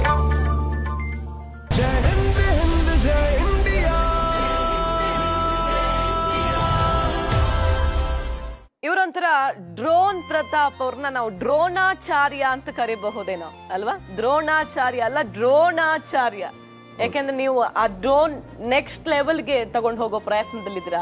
ಸೊ ನಮ್ಮಿಂದ ಈ ಡ್ರೋನಾಚಾರ್ಯ ಅನ್ನೋ ಒಂದು ಬಿರುದು ಇವತ್ತಿನ ಸಿಗಲಿ ಆಮೇಲೆ ಅದು ನಿಜವಾಗ್ಲಿ ಅಂತ ನಮ್ಮ ಆಸೆ. ನಮ್ಮೆಲ್ಲರ ಆಸೆ ಅದು. ಖಂಡಿತ. ಮುನ್ನೂರ ಅರವತ್ತೈದು ಕೆಜಿ ಪ್ಯಾಕ್ ಮಾಡಿದ್ರಿ ಮುಂದೆ. ಆ ಪ್ಯಾಕ್ ಮಾಡಾದ್ಮೇಲೆ ನಾನು ಲೈಕ್ ಫ್ಲೈಟೇ ತಗೊಂಡಿಲ್ಲ ಯಾವಾಗಲೂ. ಫಸ್ಟ್ ಫ್ಲೈಟೇ ನಂದು ಇಂಟರ್ನ್ಯಾಷನಲ್ ಫ್ಲೈಟ್ ಅದು ಹೆಂಗ್ ವರ್ಕ್ ಆಗುತ್ತೆ ಪ್ರೊಸೀಜರ್ಸು ಅನ್ನೋದು ನಂಗೆ ಗೊತ್ತಿಲ್ಲ. ತಗೊಂಡೋದೆ ಲಗೇಜು ಅವ್ರು ಹೇಳಿದ್ರು ಒಟ್ನಲ್ಲಿ ಲಗೇಜಿಗೆ ಪೇ ಮಾಡಬೇಕು ಅಂತ ಅನ್ನೋದು ಮಾತ್ರ ಯಾರೋ ಹೇಳಿದ್ರು. ನಲ್ವತ್ತೇಳು ಕೆ ಜಿಗಿಂತ ಜಾಸ್ತಿ ಆದರೆ. ಅದೊಂದು ಮೈಂಡಲ್ಲಿ ಇಟ್ಕೊಂಡು ದುಡ್ಡು ರೆಡಿ ಮಾಡ್ಕೊಂಡು ಹೋಗಿದ್ದೆ. ಆದ್ರೆ ಒಂದೊಂದು ಬಾಕ್ಸಲ್ಲಿ ಇಷ್ಟಿಷ್ಟೇ ಇರಬೇಕು ಅನ್ನೋದು ಗೊತ್ತಿರಲಿಲ್ಲ. ಆಮೇಲೆ ಮತ್ತೆ ಏರ್ಪೋರ್ಟಲ್ಲಿ ಬಿಚ್ಚಿ ಅದನ್ನ ಮತ್ತೆ ಪ್ಯಾಕ್ ಮಾಡಿ ಮತ್ತೆ ಅಲ್ಲೆಲ್ಲ ಜೋಡಿಸ್ಕೊಂಡು ಕ್ಲೀನಾಗಿ ಅಂದ್ರೆ ಎಲ್ಲಾ ಕಡೆ ಅದನ್ನ ಓಪನ್ ಮಾಡಿ ಕ್ಲೋಸ್ ಮಾಡಿ ಕಷ್ಟ ಆಗ್ತಿರ್ಲಿಲ್ವಾ? ಅದು ಅಷ್ಟು ಭಾರ. ಎಲ್ಲದಕ್ಕಿಂತ ಕಷ್ಟ ಅನ್ನೋದು ಕಾಣಿಸಿದ ನಾನು ಸರಿಯಾಗಿ ತಿಂದಿರಲಿಲ್ಲ ಆ ಗಲಾಟೆಲಿ ಹೊರಡೋಕ್ಕಿಂತ ಮುಂಚೆ. ಆ, ನಾನು ಎಲ್ಲ ಎಲ್ಲೋ ಹೋಗ್ಬೇಕಾಗಿತ್ತು. ಅವತ್ತು ತಾನೇ ಬ್ಯಾಂಗ್ಳೂರಿಂದ ಬಂದೆ ಮೈಸೂರಿಗೆ ಬಂದೆ ಪ್ಯಾಕೇಜ್ ಮಾಡ್ಕೊಂಡೆ ಎಲ್ಲ ಹೊರಟೆ. ಈ ಥರ ಎಲ್ಲ ಆಗ್ತಾ ಇತ್ತು. ಅಮ್ಮನ್ನ ಮೀಟ್ ಮಾಡಿ ಹೋಗಿದ್ರ ಅವತ್ತು ಹೋಗುವಾಗ? ಬಂದಿದ್ರು ಬಂದಿದ್ರು. ಅವರೇ ಬಂದಿದ್ರು. ಬಸ್ ಹತ್ಸಿದ್ರೆ. ಹೌದು ಹೌದು. ಮಗ ವಿಮಾನ ಹತ್ತು ಹೋಗ್ತಿದ್ದಾನೆ ಫಸ್ಟ್ ಟೈಮು ಏನ್ ಅನಿಸ್ತು ಕಳ್ಸ್ಕೊಡಕ್ಕೆ ಭಯ ಪಡ್ತಾರ ಮನೇಲಿ. ಮೇಲೆ ಹಾರ್ಬೇಕಾ ಮಗ ಅಂತ? ನಾವ್ ಹೋಗಿಲ್ಲ ನಮ್ಮ ಮಗನಾರ ಒಯ್ತಾನಲ್ಲ ಅಂತ ಖುಷಿಯಿಂದ ಕಳ್ಸ್ಕೊಡ್ ಅಲ್ಲಿ ಹೋಗಿ ಏನ್ ಮಾಡ್ತಾನೆ? ಎಷ್ಟು ದಿನ ಆಗತ್ತೋ ಏನೋ? ಅದೆಲ್ಲ ಗೊತ್ತಿಲ್ಲ. ಏನು ಹೇಳಿಲ್ಲ. ಗೆಲ್ಲಲ್ಲ ನಾನು ಹೇಳ್ಬೇಡಿ ಒಯ್ತಾ ಇದ್ದೀನಿ ಅಂತ ಮಾತ್ರ ಹೇಳಿದ್ದೆ ನಮ್ಮ ಮಗ. ಬೇರೆ ದೇಶಕ್ಕೆ ಹೋಗ್ತಾನೆ ಅಂದಾಗ ಏನ್ ಅನ್ಸ್ತು ನಿಮ್ಗೆ? ಮಗ ಒಬ್ಬನೇ ಹೋಗ್ತಿದ್ದಾನೆ ಅಂತ. ಯಾಕಂದ್ರೆ ಈಗ ಅಪ್ಪ ಅಮ್ಮ ರಸ್ತೆ ಹುಷಾರಾಗಿ ದಾಟು ಅಂತ ಅವ್ರಿಗೆ ಎಷ್ಟು ವರ್ಷ ಆದ್ರೂ ಹೇಳ್ತಾನೆ ಇರ್ತಾರೆ. ಅವನೊಂದು ಇದು ಮಾಡಿದ್ದ. ಹೋಗ್ಬೇಕು ಮುಂಚೆನೆ ಇಲ್ಲೇ ಅವಲಕ್ಕಿ ಚಕ್ಲಿ ಬ್ರೆಡ್ ಬ್ರೆಡ್ ಆ ದೇಶದಲ್ಲಿ ಊಟ ಇರಲ್ಲ. ಅಂದ್ಬಿಟ್ಟು ಅದೆಲ್ಲ ತಕೊಂಡಿದ್ದ. ಅದೆಲ್ಲ ನಾವು ಪ್ಯಾಕ್ ಮಾಡಿಕೊಟ್ಟಿದ್ದು ತಿನ್ನ. ಯಾಕೆ ಇದೆಲ್ಲ ತಗೋತಾ ಇದೆಯಾ ಅಂದ್ರೆ ಊಟಕ್ಕೆ ಅಲ್ಲಿ ಇದಿರ್ತದೆ ಅಂತ ಅಂದ್ಬಿಟ್ಟು ಅದೆಲ್ಲ ತಕೊಂಡು ಇಲ್ಲೇ ಪ್ಯಾಕ್ ಮಾಡ್ಕೊಂಡಿದ್ದ. ಅದು ಮಾತ್ರ ಗೊತ್ತಿತ್ತು. ಮಾಮೂಲಿ ಬಸ್ ಸ್ಟ್ಯಾಂಡಿಗೆ ಬಂದು ಕಳಿಸ್ಬಿಟ್ಟು ಮನೆಗೆ ಊರಿಗೆ ಹೊಟ್ಟೋದ ನಾವು. ಒಯ್ತಾವನಲ್ಲ ಅನ್ನೋದೊಂದು ಖುಷಿ. ಇವು ನಾವಾರ ಹೋಗಿಲ್ಲ ಪ್ಲೈನಲ್ಲಿ ನಮ್ಮ ಮಗ ಒಯ್ತಾವನಲ್ಲ. ಅನ್ನೋ ಖುಷಿ. ಹೊಟ್ಟೆ ಹಸಿವು ಕೈಯಲ್ಲಿ ಮುನ್ನೂರ ಅರವತ್ತೈದು ಕೆಜಿ ಭಾರ. ಹೇಗೆ ಮ್ಯಾನೇಜ್ ಮಾಡಿದ್ರಿ? ಏರ್ಪೋರ್ಟಲ್ಲಿ ಓದೆ ಜಪಾನ್ಗೆ. ಹಾಂಗ್ಕಾಂಗಲ್ಲಿ ಅನ್ಕೊಂಡೆ ಟ್ರಾನ್ಸ್ಫರ್ ಫ್ಲೈಟ್ ಅನ್ನೋ ಟರ್ಮ್ ನನ್ಗೆ ಗೊತ್ತಿರಲಿಲ್ಲ. ಓಕೆ ಲಗೇಜ್ ಸಿಗುತ್ತೆ. ಇನ್ನೊಂದು ಫ್ಲೈಟ್ ಟ್ರಾನ್ಸ್ಫರ್ ಹೌದು ಲಗೇಜ್ ಸಿಗುತ್ತೆ ಅಂತ ನಾನು ಅನ್ಕೊಂಡೆ. ಹಾ. ತುಂಬಾ ದೊಡ್ಡ ಏರ್ಪೋರ್ಟ್ ಹಾ. ಹಾಂಗ್ಕಾಂಗ್ ಇಂಟರ್ನ್ಯಾಷನಲ್ ನನ್ಗೆ ಗೊತ್ತು ನೋಡೇ ಇಲ್ಲ ಆ ಥರದ್ದು. ಇಡೀ ಏರ್ಪೋರ್ಟ್ ಎಲ್ಲಾ ಟರ್ಮಿನಲ್ ಓಡಾಡ್ಬಿಟ್ಟಿದ್ದೀನಿ. ಲಗೇಜ್ ಬರುತ್ತೆ. ಲಗೇಜ್ ಬರುತ್ತೆ. ಲಗೇಜ್ ಇಲ್ಲಿ ಲಗೇಜ್ ಇಲ್ಲಿ ಅಂತ ಕೇಳ್ಕೊಂಡು ಕೇಳ್ಕೊಂಡು. ಆಮೇಲೆ ಒಂದು ಇದ್ರ ಕೊನೆಯಲ್ಲಿ ಒಂದು ನಾಲ್ಕು ಅವರ್ ತಿರುಗಿದ ಮೇಲೆ ಗೊತ್ತಾಯ್ತು ಲಗೇಜು ಅಲ್ಲೇ ಟ್ರಾನ್ಸ್ಫರ್ ಆಗುತ್ತೆ ಇನ್ನೊಂದು ಫ್ಲೈಟ್ಗೆ ಅಂತ. ಆಮೇಲೆ ಸ್ವಲ್ಪ ಸಮಾಧಾನ ಆಯ್ತು. ಇಷ್ಟೆಲ್ಲ ಮಾಡಿ ಕೈ ಸಿಕ್ಕಿಲ್ಲ ಅದನ್ನೇನಪ್ಪ ಅಂತ ಅನ್ಕೊಂಡೆ. ಆಮೇಲೆ ಹೆಂಗೋ ಧೈರ್ಯವಾಗಿ ಇನ್ನೊಂದು ಫ್ಲೈಟ್ ಹುಡಿಕೊಂಡು ಹತ್ಕೊಂಡೆ ನಾನು. ಊಟ ಮಾಡಿದ್ರ ಅಷ್ಟೊತ್ತಿಗೆ ಇಲ್ಲ ಇಲ್ಲ ನಾನು ಎರಡು ದಿನದಿಂದ ಏನು ಇದು ಮಾಡಿರಲಿಲ್ಲ ನಾನು. ಇಳ್ಕೊಂಡೆ ಜಪಾನ್ಗೆ ಹೋದೆ ರೀಚ್ ಆದೆ ನಾನು. ರೀಚ್ ಆದಮೇಲೆ ಬುಲೆಟ್ ಟ್ರೈನ್ ಹೋಗುತ್ತೆ ಎಕ್ಸಿಬಿಷನ್ ಸೆಂಟರ್ಗೆ ಎರಡೂವರೆ ಗಂಟೆಲಿ ಹೋಗುತ್ತೆ. ಎಕ್ಸಿಬಿಷನ್ ಸೆಂಟರ್ಗೆ ಹೋಗೋ ಟ್ರೈನ್ ಅಫೋರ್ಡ್ ಮಾಡೋಕ್ಕೆ ನನ್ನ ಹತ್ರ ದುಡ್ಡಿರಲಿಲ್ಲ ನನ್ನ ಹತ್ರ ಬುಲೆಟ್ ಟ್ರೈನ್ ಅಫೋರ್ಡ್ ಮಾಡೋಕ್ಕೆ. ಆದರೆ ಇನ್ನೊಂದು ರೂಟ್ ಮ್ಯಾಪ್ ಹೇಳಿದ್ರು ಅಲ್ಲಿ ಟ್ರೈನ್ ಇವರು. ಇನ್ನೊಂದು ರೂಟ್ ಮ್ಯಾಪ್ ಇದೆ ತುಂಬ ದೂರ ಆಗುತ್ತೆ. ಹನ್ನೊಂದು ಹನ್ನೆರಡು ರೈಲ್ವೆ ಸ್ಟೇಷನ್ ಕ್ರಾಸ್ ಮಾಡಬೇಕಾಗುತ್ತೆ. ಎರಡೂವರೆ ದಿನ ಆಗುತ್ತೆ ಆದರೆ. ಎರಡೂವರೆ ಗಂಟೆ ಬುಲೆಟ್ ಟ್ರೈನ್ ಅಲ್ಲಿ ಹೋದ್ರೆ ಹೌದು. ನಾರ್ಮಲ್ ಟ್ರೈನ್ ಅಲ್ಲಿ ಹೋದ್ರೆ ಎರಡೂವರೆ ಹೌದು ಹೌದು. ಆಗುತ್ತೆ ಅಂದ್ರು. ಸರಿ ಪರವಾಗಿಲ್ಲ ಅಂತ ಅನ್ಕೊಂಡೆ. ಏರ್ಪೋರ್ಟ್ ಟೈಮ್ ಇತ್ತ ಅಷ್ಟು? ಎರಡೂವರೆ ದಿನ ಇತ್ತ ಅಲ್ಲಿ ನಿಮ್ಗೆ ಕಾಂಪಿಟೇಷನ್ ಮೂರು ದಿನ ಮುಂಚಿತವಾಗಿ ತಗೊಂಡ್ಬಿಟ್ಟಿದ್ದೆ ಯಾಕೆಂದ್ರೆ ಒಂದ್ಸಲ ಟೆಸ್ಟ್ ಮಾಡೋಣ ಅಂತ ಒಂದ್ ಸ್ವಲ್ಪ ಆಸೆ ಇತ್ತು. ವರ್ಕ್ ವರ್ಕ್ ಆಗುತ್ತಾ ಇಲ್ವಾ ನೋಡೋಣ ಅಂತ. ನಾರ್ಮಲ್ ಮೆಟ್ರೋ ಟ್ರೈನ್ ಕ್ಲೋಸ್ ಆಗ್ಬಿಡುತ್ತೆ door. One hour five hour six seconds close ಅಂತ ಟೈಮಲ್ಲಿ ಒಂದು ಬಾಕ್ಸ್ ಎತ್ತಿಡುವಷ್ಟರಲ್ಲೇ ಇನ್ನ ಒಂದ್ ನಾಲ್ಕೈದು ಬಾಕ್ಸ್ ಉಳ್ಕೊಬಿಡೋದು. ಹೊರಗಡೆ. ಹಾ ಸ್ಟಾಪ್ ಮಾಡಿ ಆದ್ರೂ ನಿಲ್ಲಿಸ್ತಿರ್ಲಿಲ್ಲ. ಭಾಷೆ ಗೊತ್ತಿಲ್ಲ ಜಾಪನೀಸ್ ಹೊಟ್ಬಿಡೋದು ಪುನಃ ಐವತ್ ಕಿಲೋಮೀಟರ್ ಮತ್ತೆ ಟಿಕೆಟ್ ತಗೊಳಕ್ಕೂ ದುಡ್ಡಿರ್ಲಿಲ್ಲ. ಹಂಗೆ ಹೆಂಗೋ ನುಸುಳ್ಕೊಂಡು ಮಧ್ಯದಲ್ಲಿ ಇದು ಮಾಡ್ಕೊಂಡು ಮತ್ತೆ ವಾಪಸ್ ಬಂದು ಅದೇ ಸ್ಟೇಷನ್ಗೆ ಮತ್ತೆ ಎರಡ್ ಮೂರ್ ಅದೇ ತರ ಮೂರ್ ನಾಲ್ಕು ಸ್ಟೇಷನ್ ಅಲ್ಲಿ ಆಗೋಯ್ತು ಫಿಫ್ಟಿ ಕಿಲೋಮೀಟರ್ಸ್ ಫಾರ್ಟಿ ಕಿಲೋಮೀಟರ್ಸ್ ಒಂದ್ಸಲ ತಗೊಂಡು ವಾಪಸ್ ಬರ್ಲಿಕ್ಕೆ ವಾಪಸ್ ಅಷ್ಟು ಬಾಕ್ಸ್ ಅನ್ನು ಒಳಗೆ ಇಟ್ಕೊಳ್ಳೋಷ್ಟು ಟೈಮ್ ಸಿಕ್ತಿಲ್ಲ ಹೌದು ಹೌದು. ಎರಡೂವರೆ ದಿನ ಆಗಿದ್ದು ಮೂರು ದಿನ ಆಗೋಯ್ತು ಎಕ್ಸಿಬಿಷನ್ ಸೆಂಟರ್ ಟೈಮ್ ಇರಲಿಲ್ಲ ಹೋಗಿ ಇದು ಮಾಡಕ್ಕೆ. ಆಗ ಲಗೇಜು ಕೊನ್ ಕೊನೆ ಇನ್ನೊಂದೆರಡು ಸ್ಟೇಷನ್ ಕ್ರಾಸ್ ಮಾಡ್ಬೇಕಾದ್ರಂತೂ ಆಗ್ಲೇ ಇಲ್ಲ. ಎತ್ಕೊಂಡು ಹೋಗೋಣ ಅಂತ ಅನ್ಕೊಂಡೆ. ಎಷ್ಟು ಸುಸ್ತಾಯ್ತು ಅಂದ್ರೆ ಕೂತೆ ಬಿಟ್ಟೆ ನನ್ನಲ್ಲಿ. ಆಮೇಲೆ ಅದ್ರದ್ದು ಪ್ರತಿಯೊಂದು ಒಂದು ಸ್ಟೇಷನ್ ಅಲ್ಲೂ ಕ್ಯಾಮ್ರಾ ನೋಡ್ಕೊಂಡು ಇಡ್ತಾ ಇದ್ದೆ. ಏನಾದರೂ ಎತ್ಕೊಂಡು ಹೋಗ್ಬಿಟ್ರೆ ಗೊತ್ತಿಲ್ದೇ ಇರೋ ದೇಶ ಗೊತ್ತಿಲ್ದೇ ಇರೋ ಊರು ಎತ್ಕೊಂಡು ಹೋಗ್ಬಿಟ್ರೆ ಅಂತ. ಆಮೇಲೆ ಬಂದು ಇಳಿದೆ ಇನ್ನೊಂದು ಸ್ಟೇಷನ್ ಹತ್ರ ಕೊನೆಯ ಸ್ಟೇಷನ್ ಹೆಂಗೋ ಬಂದು ಹಬ್ಬ ಫಸ್ಟ್ ರೀಚ್ ಅನ್ಕೊಂಡು. ಆಮೇಲೆ ಕೇಳಿದೆ ಇಲ್ಲಿಂದ ಎಕ್ಸಿಬಿಷನ್ ಸೆಂಟರ್ ಯಾವ ಕಡೆ ಇದೆ ಅಂತ. ಆಮ್, ಪಕ್ಕದಲ್ಲ ಪಕ್ಕದಲ ಅಂತ ಅನ್ಕೊಂಡಿದ್ದೆ. ಇಲ್ಲ ಇಲ್ಲ ಪುನಃ ಎಂಟು ಕಿಲೋಮೀಟರ್ ಇದೆ ಅಂತ ಅಂದ್ರು.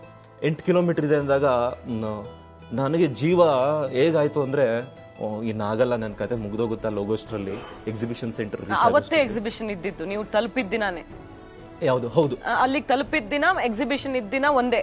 ಬೆಳ್ ಬೆಳಗಿನ ಜಾವ ಎಕ್ಸಿಬಿಷನ್ ಶುರುವಾಗ ಬೆಳ್ ಬೆಳಗಿನ ಜಾವ ನಾನು. ಒಂದ್ ನಾಲ್ಕೈದು ಗಂಟೆಗೆ ತಲುಪಿದಿರ ಹೌದು. ಆಮೇಲೆ ಹೊರಟೆ ನಾನು ಎಕ್ಸಿಬಿಷನ್ಗೆ ಎಲ್ಲ ಒಂದೊಂದು ಬಾಕ್ಸ್ನ ಎತ್ಕೊಂಡು ಎತ್ಕೊಂಡು ಮಧ್ಯದಲ್ಲಿ ಇಡೋದು ಇಡೋದು ಎತ್ಕೊಂಡು ಎತ್ಕೊಂಡು ಹೋದೆ.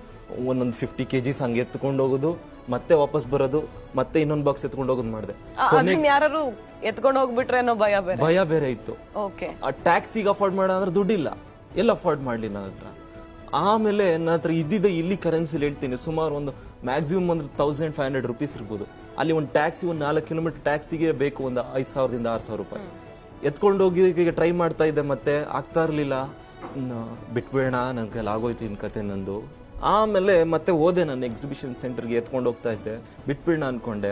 ಆಗ ನನ್ನ ಮನಸ್ಸಲ್ಲಂತೂ ಏನು ಮಾಡ್ತಾ ಇದ್ದೀನಿ ನಾನು ಇಲ್ಲಿ ನಿಂತ್ಕೊಂಡು? ಇಷ್ಟು ಇಷ್ಟು ಪಾಪ್ಯುಲೇಷನ್ ಇರೋ ಕಂಟ್ರಿ ರೆಪ್ರೆಸೆಂಟ್ ಮಾಡ್ತಾ ಇದ್ದೀನಿ ನಾನು.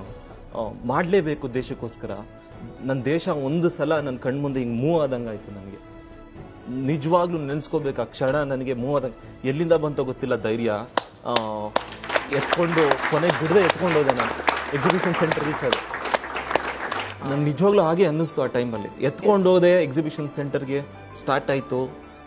ಕೇಳಿದೆ ನಾನು ಒಂದು ಸ್ಟೂಡೆಂಟ್ಸ್ ಹೆಂಗೆ ಬಂದ್ರಿ ನೀವು? ತುಂಬ ಕಷ್ಟ ಆಗಿಲ್ವ ಬರೋಕ್ಕೆ? ಹೇಳಿದ್ರು. We afford a private jet ಅಂತ ಹೇಳಿದ್ರು ಅಮೆರಿಕನ್ ಸ್ಟೂಡೆಂಟ್ಸ್ ನಾನು ಪ್ರೈವೇಟ್ ಜೆಟ್ ಅಂದ್ರೆ ಗೊತ್ತಿರಲ್ಲ ನನಗೆ. ಆಮೇಲೆ ತಿಳ್ಕೊಂಡೆ ಎಕ್ಸ್ಪ್ಲನೇಷನ್ ಕೇಳಿ. ಓ ಹೌದಾ? ದಟ್ಸ್ ಗುಡ್ ಅಂದ್ಬಿಟ್ಟು ನಾನು ಇದು ಮಾಡಿದೆ. ಎಸ್ ನೀವು ಇಷ್ಟು ಮಾಡಿದಿರಾ ಈ ಕಷ್ಟ? ಮತ್ತೊಮ್ಮೆ ನಾ ಹೇಳ್ತಿದ್ದೀನಿ ಇಡೀ ಕರ್ನಾಟಕ ಇಡೀ ದೇಶ ಜಗತ್ತಿಗೆ ವಿವಿಧ ಮೂಲೆಗಳಿಗೆ ಮುಟ್ಟಿದೆ. ಮತ್ತೊಬ್ರು ಸೆಲೆಬ್ರಿಟಿ ಮತ್ತೊಬ್ರು ಗಣ್ಯರು ನಿಮ್ ಜೊತೆ ಅಂದ್ರೆ ನಿಮ್ ಬಗ್ಗೆ ಮಾತಾಡಿದ್ದಾರೆ. ದಿನೇಶ್ ಗುಂಡೂರಾವ್ ಅವರು ಕೆಪಿಸಿಸಿ ಅಧ್ಯಕ್ಷರು ಏನ್ ಹೇಳಿದ್ದಾರೆ ನೋಡೋಣ. ಪ್ರತಾಪ್ನವರು ನಮ್ಮ ಯುವಕ. ಅವರು ಜಪಾನಿನಲ್ಲಾದಂಥ ಯುವ ವಿಜ್ಞಾನಿಗಳ ಒಂದು ಕಾರ್ಯಕ್ರಮ ಸಮ್ಮೇಳನದಲ್ಲಿ ಪ್ರಥಮ ಸ್ಥಾನ ಅವ್ರು ಪಡ್ಕೊಂಡು ನಮ್ಮ ಒಬ್ಬ ಈ ಬಡ ಯುವ ವಿದ್ಯಾರ್ಥಿ ಇಷ್ಟು ದೊಡ್ಡ ಸಾಧನೆ ಮಾಡಿರ್ತಕ್ಕಂಥದ್ದು ನಿಜವಾಗಲೂ ಕೂಡ ಭಾಳ ದೊಡ್ಡ ಪ್ರೇರಣೆ ನೀಡ್ತಕ್ಕಂಥ ಒಂದು ಸಾಧನೆ, ಸಾಹಸ ಇದು. ಮತ್ತು ಜೆ ಎಸ್ ಎಸ್ ಸ್ವಾಮೀಜಿಗಳು ಕೂಡ ಅದಕ್ಕೆ ಸಹಕಾರ ಕೊಟ್ಟಿದ್ದಾರೆ ಅಂತ ಕೂಡ ಕೇಳಿಬಂದಿದೆ. ಅದರಿಂದ ಭಾಳ ಸಂತೋಷ ಆಗ್ತಾ ಇದೆ. ಈ ಯುವ ವಿಜ್ಞಾನಿ ಪ್ರತಾಪ್ ಅವರಿಗೆ ಅಭಿನಂದನೆಗಳು ಸಲ್ಲಿಸ್ತೇನೆ. ಮತ್ತು ಅವನನ್ನು ನೋಡಿ ಬಹುಶಃ ಲಕ್ಷಾಂತರ ಜನ ಯುವಕರಿಗೆ ಸ್ಫೂರ್ತಿ ಸಿಗುತ್ತೆ ಅಂತ ಕೂಡ ನಾನು ಭಾವಿಸ್ತೇನೆ. ಯಾವ ಥರ ಅದೆಲ್ಲ ಅಷ್ಟು ಕಾಂಪಿಟೇಟಿವ್ ಇದ್ದ ಆ ಜಾಗದಲ್ಲಿ ನಿಮ್ಮನ್ನ ನೀವು ಸಾಬೀತುಪಡಿಸ್ಕೊಳ್ಳೋ ಧೈರ್ಯ. ಕಾಂಪಿಟೇಷನ್ ಶುರುವಾಯಿತು. ಅಷ್ಟು ದಿನನೂ ಒಂದೇ ಬಟ್ಟೆ ಹಾಕಿದ್ದೀನಿ. ಅಷ್ಟು ದಿನ ಕಾಂಪಿಟೇಷನ್ ನಡೆದಿದಂತ ಒಂದೇ ಬಟ್ಟೆ ಹಾಕಿದ್ದೆ ಅಂದ್ರೆ ಲಗೇಜ್ ತಗೊಂಡು ಹೋಗಿರ್ಲಿಲ್ವಾ? ಎಕ್ಸ್ಟ್ರಾ ಆಗತ್ತೆ ಅಂತ ಅಥವಾ ಹೇಗೆ? ಹೌದು ಹೌದು ಹೌದು. ತೂಕ ಬರುತ್ತೆ ಅಂದ್ಬಿಟ್ಟು ಒಂದೆರಡು ಇದ್ ತಗೊಂಡೋಗಿದ್ದೆ ಬೇರೆ ಬೇರೆ ಬಟ್ಟೆ. ಅಂದ್ರೆ ಟಿ ಶರ್ಟ್ ನನ್ನ ಹತ್ರ ಇರ್ಲಿಲ್ಲ ಮ್ಯಾಮ್ ಫ್ಯಾಕ್ಟ್ ಹೇಳ್ತೀನಿ ನಾನು. ನನ್ನ ಹತ್ರ ಇರ್ಲಿಲ್ಲ ಹಾಕ್ಲಿಕ್ಕೆ. ಇರ್ಲಿಲ್ಲ ಒಳ್ಳೆ ಬಟ್ಟೆ ಇರ್ಲಿಲ್ಲ ಹಾಕ್ಲಿಕ್ಕೆ. ಒಂದೇ ಬಟ್ಟೆ ಇದ್ದಿದ್ದು. ಅದನ್ನೇ ನಾನು ರಿಪಿಟೇಟಿವ್ ಆಗಿ ರಿಪಿಟೇಟಿವ್ ಆಗಿ ರಿಪಿಟೇಟಿವ್ ಹಾಕೊಂಡೆ ಕೊನೆಗೊಬ್ಬ ಸ್ಟೂಡೆಂಟ್ ಕೇಳಿದೆ ಯಾವುದೇ ದೇಶದವನು ನನ್ನ ಪಕ್ಕ ಇದ್ದವನು. ಈ ಥರ ಬಟ್ಟೆ ಹಾಕೊಂಡಿದ್ದೀರಲ್ಲ ಆ, ಏನು ಅನ್ಸಲ್ವಾ ನಿಮಗೆ? ಯು ಡೋಂಟ್ ಫೀಲ್ ಡಿಸ್ಕಸ್ಟಿಂಗ್ ಆ ಥರ ಏನೋ ಪದ ಯೂಸ್ ಮಾಡಿ. ನಾನಾಗ ಅವ್ರಿಗೆ ಗಾಂಧೀಜಿಯವ್ರ ಹೆಸರು ಹೇಳಿದೆ. ಅವ್ರು ಯಾವುದೇ ಥರ ಸೂಟ್ ಗೀಟ್ ಹಾಕೊಂಡಿಲ್ಲ ಅವರ ಕೊನೆ ದಿನಗಳಲ್ಲಿ. ಇವತ್ತು ಅವರ ಸ್ಟ್ಯಾಚು ಇಡೀ ಪ್ರಪಂಚದಾದ್ಯಂತ ಇದೆ. Even American former president Obama ಕೂಡ ಅವರು ಫಾಲೋವರು ಅಂತ ಹೇಳಿದೆ. ಏನೂ ಮಾತಾಡಲಿಲ್ಲ ಅವನು ಸುಮ್ಮನಾಗ್ಬಿಟ್ಟ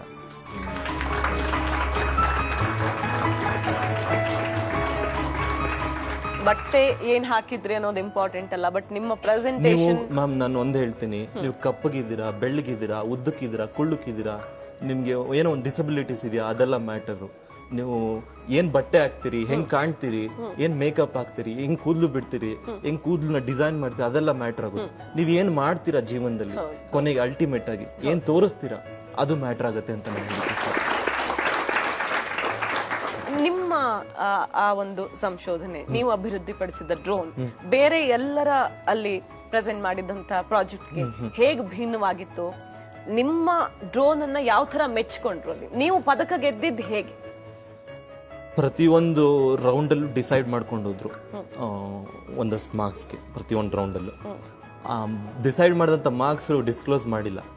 ನಾನು ಅಂದ್ಕೊಂಡೆ ಒಂದು ಎಪ್ಪತ್ತು ಸ್ಥಾನದೊಳಗೂ ಬಂದರೆ ಒಳ್ಳೆ ರೆಕಗ್ನಿಷನ್ ಸಿಗುತ್ತೆ ಅಂದ್ಕೊಂಡೆ ಅನೌನ್ಸ್ ಮಾಡ್ಕೊಂಡು ಬಂದರು ಟಾಪ್ ಫಿಫ್ಟಿಗೆ ಬಂತು. ನನ್ನ ಹೆಸರು ಬಂದೇ ಬರುತ್ತೆ. ಟಾಪ್ ಫಿಫ್ಟಿ ಅಥವಾ ತರ್ಟಿ. ತರ್ಟಿ ಇಲ್ಲಾದರೂ ಬಂದ್ಬಿಡುತ್ತೆ ಅಂತ ನಾನು ಅಂದ್ಕೊಂಡೆ ತರ್ಟಿ ಪ್ಲೇಸಲ್ಲೂ ಬಂದಿಲ್ಲ ಮ್ಯಾಮ್ ಆಮೇಲೆ ಟ್ವೆಂಟಿಗೆ ಬಂತು ಟೆನ್ನಿಗೆ ಬಂತು. ಆಮೇಲೆ ಅನೌನ್ಸ್ ಮಾಡ್ಕೊಂಡು ಬಂದರು ಟೆನ್ನು ನೈನ್ ಇನ್ನೇನು ಆಗೇ ಹೋಯ್ತು ಅಂದ್ಬಿಟ್ಟು ಪ್ಯಾಕ್ ಮಾಡಿಬಿಟ್ಟು ನಾನು ಬೇರೆಯವ್ರಿಗೆ ಅಪ್ರಿಷಿಯೇಟ್ ಮಾಡೋಣ ಅಂದ್ಬಿಟ್ಟು ದೂರದಲ್ಲಿ ಹೋಗಿ ಕೂತ್ಕೊಬಿಟ್ಟಿದ್ದೆ. ಆಗ ಹೇಳೋದು gold medal representing India please welcome mister Pratap ಅಂತ. ಕಾಲು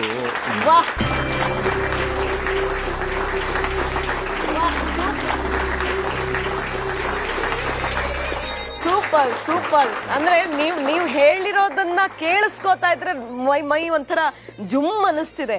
ಐವತ್ತು ಮೂವತ್ತರಲ್ಲಿ ಹೆಸರು ಬರ್ಲಿಲ್ಲ ಇಪ್ಪತ್ತರಲ್ಲಿ ಬರ್ಲಿಲ್ಲ. Pack ಮಾಡಿದಿರ but you are the number one ಅಂದಾಗ ಹೇಗ್ ಅನ್ಸ್ಬೇಡ? ಆಮೇಲೆ ಹೋಗಿ ನಿಂತ್ಕೊಂಡೆ ಕೈಲಿ ಫ್ಲಾಗ್ ಹಿಡಿದೆ. ಆಗ ಅನ್ನಿಸ್ತು. ಎಷ್ಟೋ ಆಫರ್ ಬಂತು ಅಲ್ಲಿ ಇಲ್ಲಿ ಕಡೆಯಿಂದ.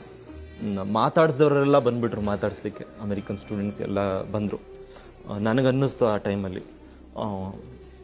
ಎಲ್ಲಿತ್ತೋ ಏನೋ ನಾನು ಜಾಸ್ತಿ ಇದು ಅಳಲ್ಲ ಮ್ಯಾಮ್, ಲೈಕ್ ಆ ಥರ ಇಲ್ಲ ನಾನು. ಆ ಟೈಮಲ್ಲಿ ನನಗೆ ಅಳಬಾರ್ದು ಅಳಬಾರ್ದು ಅಂದ್ಕೊಂಡ್ರು ಒಂದೇ ಎರಡು ಕಣ್ಣಲ್ಲೂ ನೀರು ಹಾಗೆ ಅರ್ಲಿಕ್ಕೆ ಶುರುವಾಯಿತು. ನ್ಯಾಷನಲ್ ಅಂತಂದು ಕೇಳಿದಾಗಂತೂ ನನಗೆ ಫಸ್ಟ್ ಟೈಮು ಏನೂ ಏನೂ ಗೊತ್ತಾಗಲಿಲ್ಲ ನನಗೆ ಪ್ರಪಂಚದಲ್ಲಿ. ಒಳಗೆ ಮುಳುಗೋಗ್ಬಿಟ್ಟಿದ್ದೆ ಅದು ತುಂಬ ಒಳ್ಳೆಯ ಇದು ಅಂತ ಅಂತೀನಿ. ನಾನು ಗೆದ್ದಿರೋದು ಅದು ನನಗೆ ರಿಯಲ್ ಗೋಲ್ಡ್ ಮೆಡ್ಲು ಅಂತಲೂ ಗೊತ್ತಿರಲಿಲ್ಲ ನನಗೆ. ಏರ್ಪೋರ್ಟಿಗೆ ಬಂದ ಮೇಲೇ ಗೊತ್ತಾಯಿತು ಅದು. ಅಲ್ಲಿ ಚೆಕ್ ಮಾಡಿದ ಮೇಲೇ ಅದು ರಿಯಲ್ ಗೋಲ್ಡ್ ಮೆಡ್ಲ್ ಅಂತ. ನನಗೆ ಭಾಳ ಖುಷಿ ಆಯಿತು ಆ ಟೈಮಲ್ಲಿ ಕೈಗೆ ten thousand American dollars cheque ಇಟ್ರು. ಹೌದು ಹೌದು ಹೌದು. ನನಗೆ ಆ ಟೈಮಲ್ಲಿ ಗೊತ್ತಿರಲಿಲ್ಲ ಮ್ಯಾಮ್ ಎಷ್ಟಾಗುತ್ತೆ ಅಂತಾನೂ ಗೊತ್ತಿರಲಿಲ್ಲ. ಓಕೆ ಆಮೇಲೆ ಯಾರು ಹೇಳಿದ್ರು ಅದು ಈ ತರ ವ್ಯಾಲ್ಯೂ ಇದೆ ಇಂಡಿಯನ್ ಕಪಲ್ ಸಿಕ್ಕಿದ್ರು ರೋಡಲ್ಲಿ ರೋಡಲ್ಲಿ ಸಿಕ್ಬಿಟ್ಟು ಆ ಇಂಡಿಯನ್ ಕಪಲ್ ಇದ್ರು ಆಡಿಟೋರಿಯಂ ಅಲ್ಲಿ. ಸುಮಾರು ಜನ ಇಂಡಿಯನ್ಸ್ ಇದ್ರು. ಅವರು ಬದ್ರು ಎದ್ದು ಬಂದ್ಬಿಟ್ಟು. ಅವರು ಅಳ್ತಾ ಇದ್ದಾರೆ. ಅವ್ರ ಮಗುನ ತಪ್ಕೊಂಡು ಒಂದು ಮಗು ಇದೆ ಅವ್ರಿಗೆ. ತಪ್ಕೊಂಡು ಅಳ್ತಾ ಇದ್ದಾರೆ. ಏನ್ ಜೋರಾಗಿ ಚಪ್ಪಾಳೆ. ಆ ಅಪ್ಪ ಅಂತ ಕುಣಿತಾ ಇದ್ರು. ಅಂದ್ರೆ ನಮ್ಮ ಇಂಡಿಯಾ ಅವ್ರಿಗೆ ರಾಷ್ಟ್ರಗೀತೆ ಕೇಳ ಅಲ್ಲಿ ಎಷ್ಟು ರೋಮಾಂಚನ ಆಗಿರುತ್ತೆ ಬಹಳಷ್ಟು ಜನ ಖುಷಿ ಪಡ್ತಾರೆ. ಡಾಕ್ಟರ್ ಶಿವರಾಜ್ ಕುಮಾರ್ ಅವರು ಹ್ಯಾಟ್ರಿಕ್ ಹೀರೋ ಶಿವರಾಜ್ ಕುಮಾರ್ ಅವರು ಮಾತಾಡಿದ್ದಾರೆ. ನೋಡೋಣ. ಫಸ್ಟ್ ಪ್ರತಾಪ್ ಅವ್ರಿಗೆ ಕಂಗ್ರ್ಯಾಚುಲೇಷನ್ಸ್ ಆ್ಯಂಡ್ ತುಂಬಾನೇ ಐ ಥಿಂಕ್ ಪ್ರೌಡ್ ಫೀಲ್ ಆಗುತ್ತೆ. ಯಾಕಂದರೆ ನಾವು ಚಿಕ್ಕ ವಯಸ್ಸಿಂದ ಅನ್ಕೊಂಡಾಗ ಎಲ್ಲರೂ ಹೇಳೋದಷ್ಟೇ ದೇಶ ನಮ್ಗೇನು ಮಾಡ್ತು ಅನ್ನೋದಕ್ಕಿಂತ ನಾವೇನು ದೇಶಕ್ಕೆ ಮಾಡ್ತೀವಿ ಅನ್ನೋ ಒಂದು ಮನೋಭಾವ ಬೆಳೆಸ್ಕೋಬೇಕು ಪ್ರತಿಯೊಬ್ಬರನ್ನದು ಒಂದು ಒಂದು ಒಂದು ಅಮೂಲ್ಯವಾದ ವಸ್ತುನ ಕಂಡಿಡಿದು ಇವತ್ತು ಜನಗಳಿಗೆ ಸಹಾಯ ರೀತಿಯಲ್ಲಿ ಮಾಡ್ತಿದಾರಲ್ಲ ಐ ಥಿಂಕ್ ಹ್ಯಾಟ್ಸ್ ಆಫ್ ಯಾಕಂದರೆ ನಾವು ಐ ಥಿಂಕ್ ನಾನು ಇವತ್ತು ಅಭಿಮಾನಿ ಆಗ್ಬಿಟ್ಟಿದ್ದೀನಿ ಅವ್ರಿಗೆ. I think I become a fan of him ಯಾಕಂದ್ರೆ ನಮಗೆ ಎಷ್ಟೋ ಜನ ಅಭಿಮಾನಿಗಳಿರ್ಬೋದು. ಅಭಿಮಾನಿಗಳಿದ್ರೂ ನಾವೊಬ್ಬ ಇನ್ನೊಬ್ಬನಿಗೆ ಅಭಿಮಾನಿ ಆಗೋದಿದೆಯಲ್ಲ ಅದು ಐ ಥಿಂಕ್ ತುಂಬ ಸಂತೋಷವಾದ ವಿಷಯ. ಅಂದರೆ ನಮ್ಮ ಲೈನ್ಲಿ ಅಭಿಮಾನಿ ಆಗೋದು ದೊಡ್ಡ ವಿಷಯ ಅಲ್ಲ. ಬಟ್ ಈ ರೀತಿ ಲೈನ್ಲಿ ನಮ್ಮ ಕನ್ನಡಿಗ ಒಬ್ಬ ಈ ರೀತಿ ಮಾಡಿದ್ರೆ ಅನ್ನೋದು ನಮಗೆ ಭಾಳ ಹೆಮ್ಮೆ ಪಡೋಂಥ ವಿಷಯ. ಐ ಥಿಂಕ್ ಅವರು ಕಷ್ಟಗಳನ್ನೆಲ್ಲ ಕೇಳಿದಾಗ ಆ್ಯಂಡ್ ಅವ್ರ ಪೇರೆಂಟ್ಸ್ ಏನೊಂದು ಪಿಲ್ಲರ ನಡೀತಿದ್ದಾರೆ ಇವತ್ತು ಪ್ರತಾಪ್ ಏನೂ ಮಾಡಿಲ್ಲ. ಅವ್ರ ಪೇರೆಂಟ್ಸ್ ಮಾಡಿದ್ದೆ ಪ್ರತಾಪ್ ಮಾಡಿಸಿದ್ದಾನೆ ಅಷ್ಟೇ. ಅವ್ರ ಪೇರೆಂಟ್ಸ್ ಹೇಳಿ ಮಾಡಿಸಿದ್ದಾರೆ ಅಂತ ಅನ್ಸ ಯಾಕಂದರೆ ಅವರು ಜನ್ಮ ಕೊಟ್ಟಿದ್ದಾರೆ. ಆ ಜನ್ಮದಲ್ಲಿ ಆ, ಮಗ ಹಿಂಗೆ ಹಿಂಗಾಗ್ತಾನೆ ಹಿಂಗೆ ಗೊತ್ತಿಲ್ಲ. ಎಲ್ಲೋ ಒಂದು ಕಡೆ ತಾಲಿ ಕೇಳ್ತಾರೆ. ಅಂದರೆ ಅದರಿಂದ ಏನು ಎಕ್ಸ್ಪೆಕ್ಟ್ ಮಾಡಬೇಡಿ ಅಮ್ಮ ಅಂತಾರೆ. ಅಂದರೆ ನಿಮ್ಗೇನೋ ನಾ ಬಂಗ್ಲೆ ತಗೊಡ್ತೀನೋ ಕಾರ್ ತಗೊಡ್ತೀನೋ, ಅದಲ್ಲ.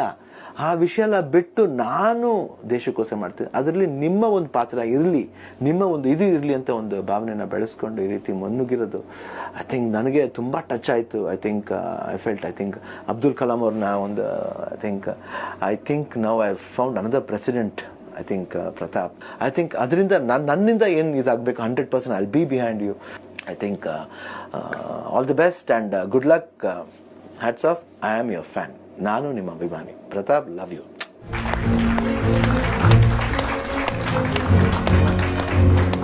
ಪ್ರತಾಪ್ ಅವ್ರ ಸಾಧನೆ ಎಲ್ಲ ಇದು ಅಪ್ಪ ಅಮ್ಮನ ಸಾಧನೆ. ಯಾಕೆ ಹೇಳಿ? ಇದೇ ಅಪ್ಪ ಅಮ್ಮ ಪ್ರತಾಪ್ನ ಅಲ್ಲಿಡೋ ಬದಲು ಇಲ್ಲೂ ಇಡಬಹುದಿತ್ತು ಕೆಳಗಿಡಬಹುದಿತ್ತು ಏನು ಕಷ್ಟ ಬಂದ್ರು ಸರಿ ನಮಗ್ ಗೊತ್ತಿಲ್ಲ ಅವ್ನು ಏನ್ ಮಾಡ್ತಿದ್ದಾನೆ ಅಂತ ಏನಾದ್ರೂ ಮಾಡ್ಲಿ ಅಂತ ನೀವು ಆತನನ್ನ ನಂಬುದ್ರಿ. ಧೈರ್ಯ ಕೊಟ್ರಿ. ಅಲ್ವಾ? ಅವ್ರ ಶಿವರಾಜ್ ಕುಮಾರ್ ಅವ್ರು ಹೇಳಿದ್ದು ನಿಮಗೆ ಕ್ರೆಡಿಟ್ಸ್ ನಿಮಗೆ ಏನಂತೀರಾ?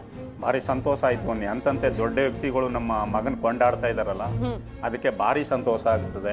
ನಮ್ಮ ದೇಶಕ್ಕೋಸ್ಕರ ಮಾಡ್ತಾ ಇದ್ದಾನೆ. ನಮಗೇನು ಮಾಡ್ತಾ ಇಲ್ಲದೆ ಇದ್ರು ನಮ್ಮ ದೇಶಕ್ಕೆ ಮಾಡಬೇಕು. ಅದು ನಮಗೆ ದೊಡ್ಡ ಸಾಧನೆ ಅಂತ ತಿಳ್ಕೊತೀನಿ. ಅಮ್ಮ. ತುಂಬ ಧನ್ಯವಾದ ಅರ್ಪಿಸ್ತೀನಿ ಅವ್ರಿಗೆ ನಾನು. ನಮ್ಮ ಬಗ್ಗೆ ಮಾತಾಡಿದ್ರಲ್ಲ ಯಾವ ಜನ್ಮದಲ್ಲಿ ಪುಣ್ಯ ಮಾಡಿದ್ವೋ ಇಂಥ ದೊಡ್ಡ ದೊಡ್ಡ ವ್ಯಕ್ತಿಗಳೆಲ್ಲ ಮಾತಾಡ್ತಾರಲ್ಲ ಅದು ನಮ್ಮ ಮಗನಿಂದ ನಮಗೆ ಸಿಕ್ಕೋದಲ್ಲ. ಧನ್ಯವಾದ ಹೇಳಕ್ ಇಷ್ಟಪಡ್ತೀನಿ. ಅದೇ ಅಲ್ವಾ? ಮರಿಮಾದಯ್ಯನವ್ರ ಮಗ ಪ್ರತಾಪ್ ಅಂತ ಹೇಳಿಸ್ಕೊಂಡು ಇವತ್ತು ಓಡಾಡಕ್ಕಿಂತ ಪ್ರತಾಪ್ ತಂದೆ ಮರಿಮಾದಯ್ಯನವ್ರು ಅಂತ ಹೇಳಿದ್ರೆ? ಎಲ್ಲೆಲ್ಲೂ ಅದೇ ರೀತಿ ಮಾತಾಡ್ತಾ ಇರೋದು ನಮ್ಮ ಮಗನಿಂದ ನಾವು ಇಲ್ಲಿ ತನಕ ಬರುವಂಗ್ ಮಾಡೋಣ ನಮ್ಮ ಮಗ ನಾವು ಪುಣ್ಯವಂತರ ಇಂಥವ್ರ ಜೊತೆ ಎಲ್ಲ ಮಾತಾಡೋಕೆ ನಾವು ಪುಣ್ಯ ಮಾಡಿದ್ವು ತುಂಬಾ ಇಷ್ಟಪಟ್ರು ಪ್ರತಾಪ್ ನಿಮ್ಮ ಜೀವನದ ಕಥೆ ಆ ಪಾಠ ಕೇಳ್ಬಿಟ್ಟು ಹತ್ತು ಸರಿ ಹೇಳಿದ್ದಾರೆ. I am your fan big fan ಅಂತ. ಏನ್ ಹೇಳ್ತೀರಾ? ಬಹಳ ಖುಷಿ ಆಗುತ್ತೆ ಅಷ್ಟೇ. ನನಗೆ ಇನ್ನೇನು ಹೇಳೋಕ್ಕೆ ಇಷ್ಟಪಡಲ್ಲ. ನಾವು ಅವ್ರ ಫ್ಯಾನ್ಗಳು ಅವ್ರು ನಮ್ಮ ಫ್ಯಾನ್ ಅನ್ನೋದಕ್ಕಿಂತ ಭಾಳ ಬಹಳ ಖುಷಿ ಆಗುತ್ತೆ. ಭಾಳ ದೊಡ್ಡ ಮಾತಾಡಿದ್ರು ಅವರು. ಭಾಳ ದೊಡ್ಡ ಮಾತಾಡಿದ್ರು. ಈ ಸ್ಥಾನದಲ್ಲಿ ಇಟ್ಕೊಂಡು ಜವಾಬ್ದಾರಿ ಜಾಸ್ತಿ ಆಯ್ತು ಹೌದು ಹೌದು ಹೌದು. ಇಂಥವರೆಲ್ಲ ಈ ಥರ ಮಾತಾಡಿ ಏನಕ್ಕೆ ಮಾತಾಡಬೇಕು? ದೇಶ ನೋಡಿ ಮಾತಾಡ್ತಿದ್ದಾರೆ ಅಷ್ಟೇ. ಹೌದು. ಖಂಡಿತ. ದ್ರೋಣಾಚಾರ್ಯ ಜೊತೆಗೆ ಮಾತುಕತೆ ಮುಂದುವರಿಸೋಣ. ಬ್ರೇಕ್ ಆದ್ಮೇಲೆ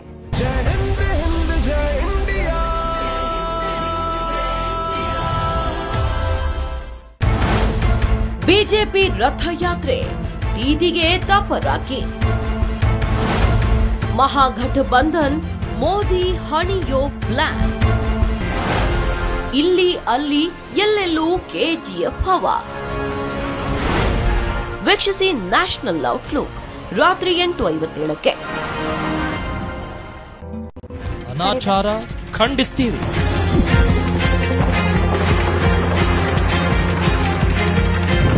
ಪತ್ರಿಕೋದ್ಯಮ ನಮ್ಮ ಜಾತಿ.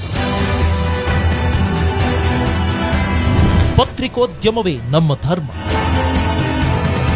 ದೇಶದ ಬೆನ್ನೆಲುವ ದಿಗ್ವಿಜಯ ಅಂತ ಹೇಳಲಿಕ್ಕೆ ಇಚ್ಛಪಡ್ತೇನೆ ನಾನು ಇವತ್ತಿನ ಸುದ್ದಿಯಲ್ಲಿ ಸದಾ ಮುಂದೆ.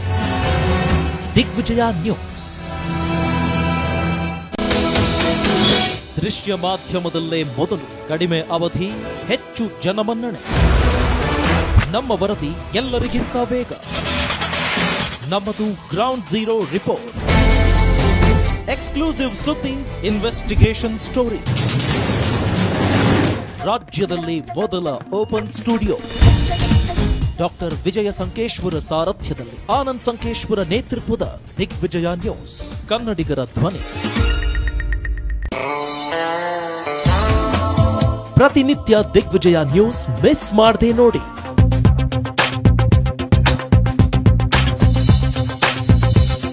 ಸಿಂಪಲ್ ಪ್ರಶ್ನೆಗಳಿಗೆ ಸರಿಯಾದ ಉತ್ತರ ಹೇಳಿ. ಆಕರ್ಷಕ ಬಹುಮಾನ ಗೆಲ್ಲಿ.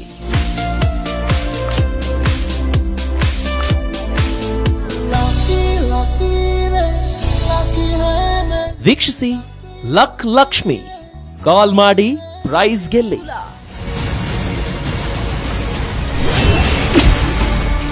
ಪ್ರಸಾದ ತಿನ್ನದೆ ಡವ್ ಮಾಡಿದ ಪೂಜಾರಿ.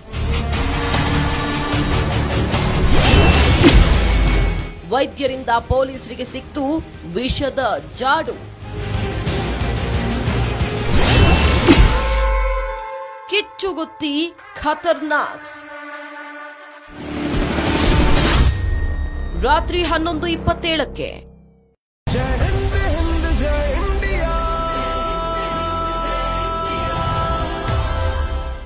ಅಪ್ಪ.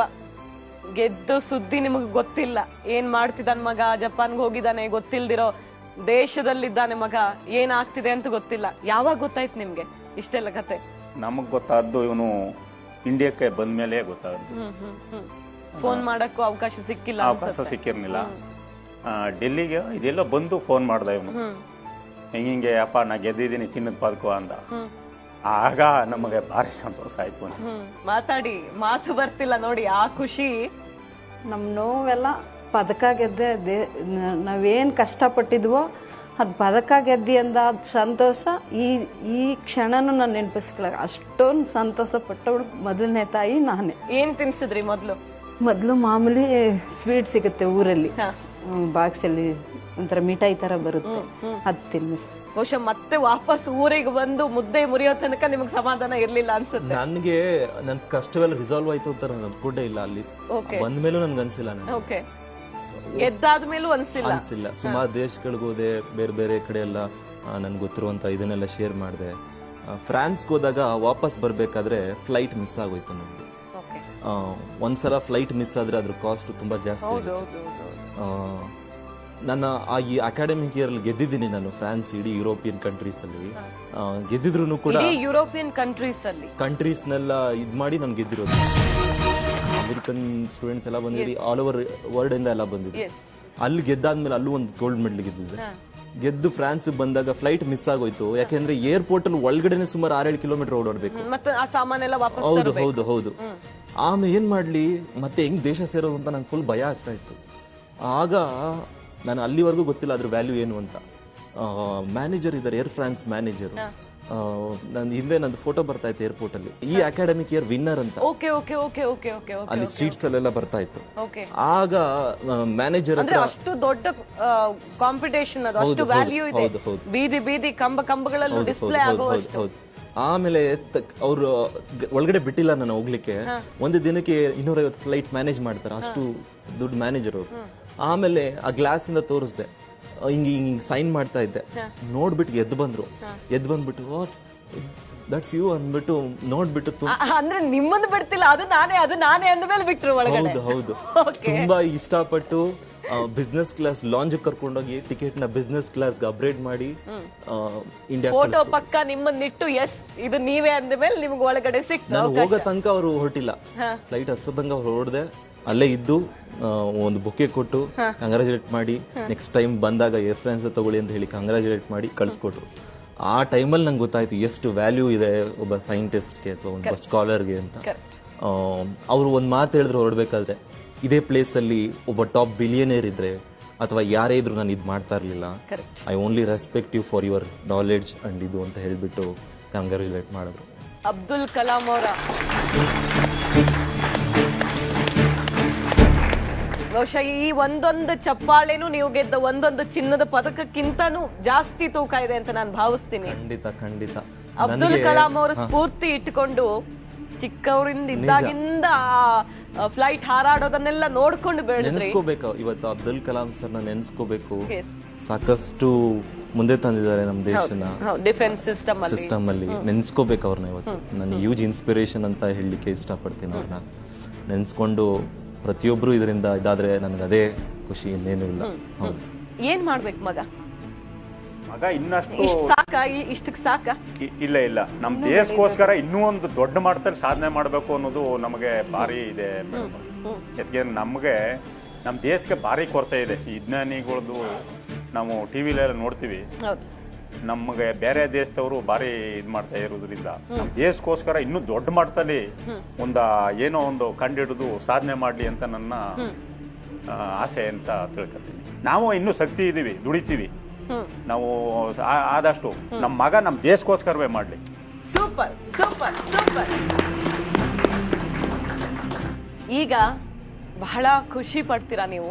ಯಾಕೆಂದ್ರೆ ನಿಮ್ಮ ಆಸೆ ಏನು ನೀವು ಕಂಡು ಹಿಡಿದಿದ್ದು ವ್ಯರ್ಥ ಆಗಬಾರದು.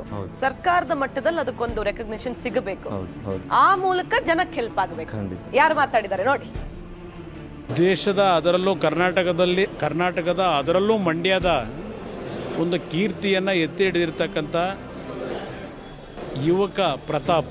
ಇವತ್ತೊಂದು ಮಂಡ್ಯದ ಒಂದು ಸಣ್ಣ ಕುಟುಂಬದಲ್ಲಿ ಜನಿಸಿ ಇಪ್ಪತ್ತೈದನೇ ವರ್ಷದಲ್ಲೇ ವಿಶ್ವದ ಹಲವಾರು ವಿಜ್ಞಾನಿಗಳಿಗೆ ಪೈಪೋಟಿ ನೀಡಿ, ಅಲ್ಲಿಯ ಒಂದು ವಿಜ್ಞಾನಿಗಳ ಜೊತೆ ಸರಿಸಮನಾಗಿ ಭಾಗವಹಿಸಿ ದೇಶಕ್ಕೆ ಕೀರ್ತಿ ತಂದಿರತಕ್ಕಂಥ ಪ್ರತಾಪ್ ಅಂತ ಯುವಕರು ಈ ನಾಡಿನಲ್ಲಿ ಇನ್ನೂ ಹಲವಾರು ಪ್ರತಿಭೆಗಳಿದ್ದಾವೆ.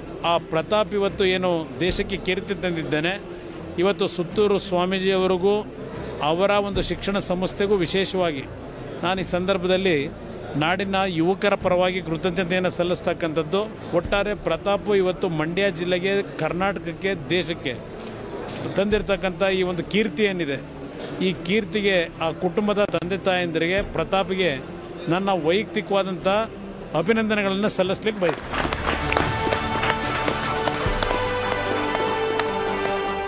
ರಾಜ್ಯದ ಮುಖ್ಯಮಂತ್ರಿಗಳು, ಮಾನ್ಯ ಮುಖ್ಯಮಂತ್ರಿ ಕುಮಾರಸ್ವಾಮಿ ಅವರು ನೋಡಿ ನಾವು ನಿಮ್ಮ ಜೊತೆಗಿದ್ದೀವಿ ಅಂತ ಇವತ್ತು ಸರ್ಕಾರವೇ ಮಾತಾಡಿದ ಮೇಲೆ ಇನ್ನೇನಾದ್ರೂ ಭಯ ಇದೆಯಾ ನಿಮಗೆ? ಖಂಡಿತ ಇಲ್ಲ. ನನ್ನ ಮನಸ್ಸಲ್ಲಿ ಏನಿತ್ತು ಅಂದ್ರೆ ಬರೀ ಸ್ಪೋರ್ಟ್ಸ್ ಅಲ್ಲಿ ರೆಪ್ರೆಸೆಂಟ್ ಮಾಡೋರ್ಗೆ ಮಾತ್ರ ರೆಕಾಗ್ನಿಷನ್ ಕೊಟ್ಟು ಏನೋ ಒಂದು ಇದು ಕೊಡ್ತಾ ಇದ್ರು. ನಮ್ಮಂತ ಸೈನ್ಸ್ ಅಲ್ಲಿ ಮುಂದೆ ಬರೋರ್ಗೂ ಸಿಗುತ್ತೆ ಅಂತ ನಾನು ಇದು ಮಾಡಿರಲಿಲ್ಲ. ಖಂಡಿತ. ಆ ಆ ಕೆಲಸ ದಿಗ್ವಿಜಯ ನ್ಯೂಸ್ ಕಡೆಯಿಂದ ಸರ್ಕಾರಕ್ಕೆ ತಲುಪಿಸುವ ಪ್ರಯತ್ನ ಖಂಡಿತ ಆಗುತ್ತೆ. ನಿಮ್ಮ ಮುಂದಿನ ಗುರಿ ಏನು? ಈಗ ಇನ್ನೊಂದ್ಸಲ ಸಿಂಪ್ಲಿಫೈ ಮಾಡಿ ಹೇಳ್ಬೇಕಂದ್ರೆ ಯಾರು ಪ್ರವಾಹ ಬಂದಿದೆ ಎಲ್ಲೋ ಜನ ಕಳೆದು ಹೋಗ್ತಿರ್ತಾರೆ. ಇಂಥದ್ದೆಲ್ಲ ಆದಾಗ ಡ್ರೋನ್ ಕಂಡು ಹಿಡಿಯೋದಷ್ಟೇ ಅಲ್ಲ ಎತ್ತುಕೊಂಡು ಬರುವಂತ ಕೆಪಾಸಿಟಿನೂ ಇರುವಂತ ಡ್ರೋನ್ ಅಭಿವೃದ್ಧಿ ಮಾಡಿದ್ದೀರಾ? ಅದರ ಜೊತೆಗೆ ಇನ್ನು ನಮ್ಮ ಡಿಫೆನ್ಸ್ ಸಿಸ್ಟಮ್ ಬಾರ್ಡರ್ ಕಾಯುವಂಥದ್ದು, ಇದಕ್ಕೆಲ್ಲ ಸಹಾಯ ಆಗುತ್ತೆ.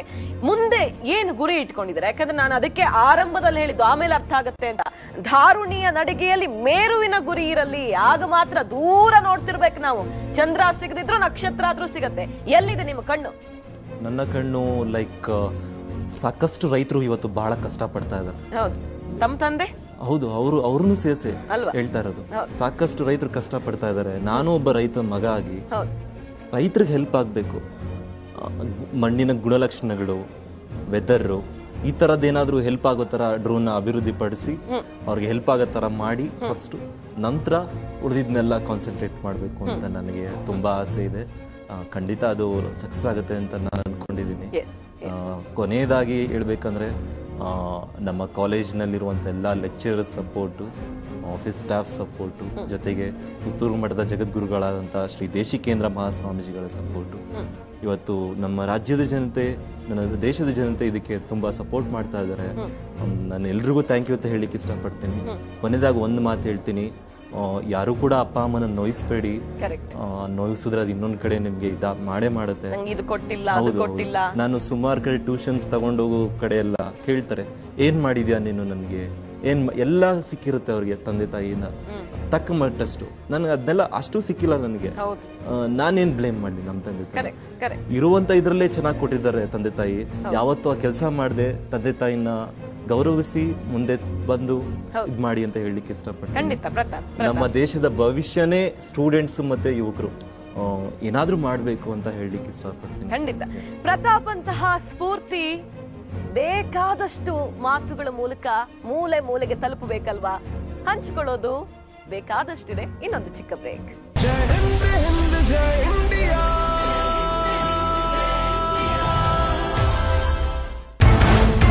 ಬರ ಸಾಲ ಮನ್ನಾ ರೊಚ್ಚಿಗೆದ್ದ ಬಿಜೆಪಿ.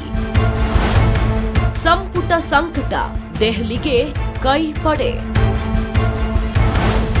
ಸುಳ್ವಾಡಿಯಲ್ಲಿ ಆಕ್ರೋಶ ಸೂತಕ ಹಂತಕರು. ವೀಕ್ಷಿಸಿ ನ್ಯೂಸ್ ಔಟ್ಲುಕ್ ರಾತ್ರಿ ಎಂಟು ಇಪ್ಪತ್ತೇಳಕ್ಕೆ. ಇಷ್ಟ ಆಗೋ ಹುಡ್ಗ ಬೇಕಂದ್ರೆ ನಂಬರ್ ಒನ್ ಜಾಗದಲ್ಲಿ ನೋಡ್ಬೇಕು. ಅಲ್ಲೇ ತಾನೇ ಲಕ್ಷಗಟ್ಟಲೆ ಚಾಯ್ಸ್ ಸಿಗೋದು. ಮಧ್ಯಾಹ್ನ ಎರಡು ಮೂವತ್ತಕ್ಕೆ.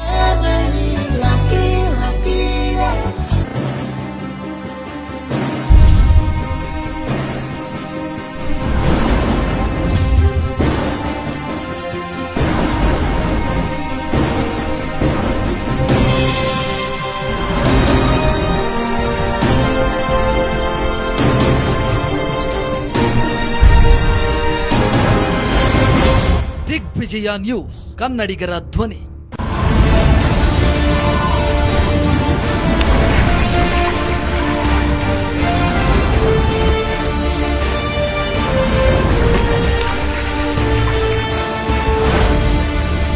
ದಿಗ್ವಿಜಯ ನ್ಯೂಸ್ ಕನ್ನಡಿಗರ ಧ್ವನಿ. ನಮ್ಮಲ್ಲಿ ಸತ್ಯ ಸಾಯಲ್ಲ. ಸಾಯೋದಕ್ಕೂ ಬಿಡೋದಿಲ್ಲ.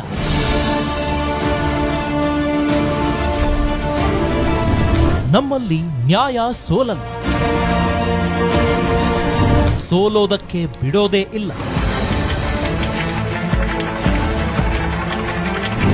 ಅನ್ಯಾಯ ಕಂಡ್ರೆ ಪ್ರಶ್ನಿಸ್ತೀವಿ. ಅನಾಚಾರ ಖಂಡಿಸ್ತೀವಿ.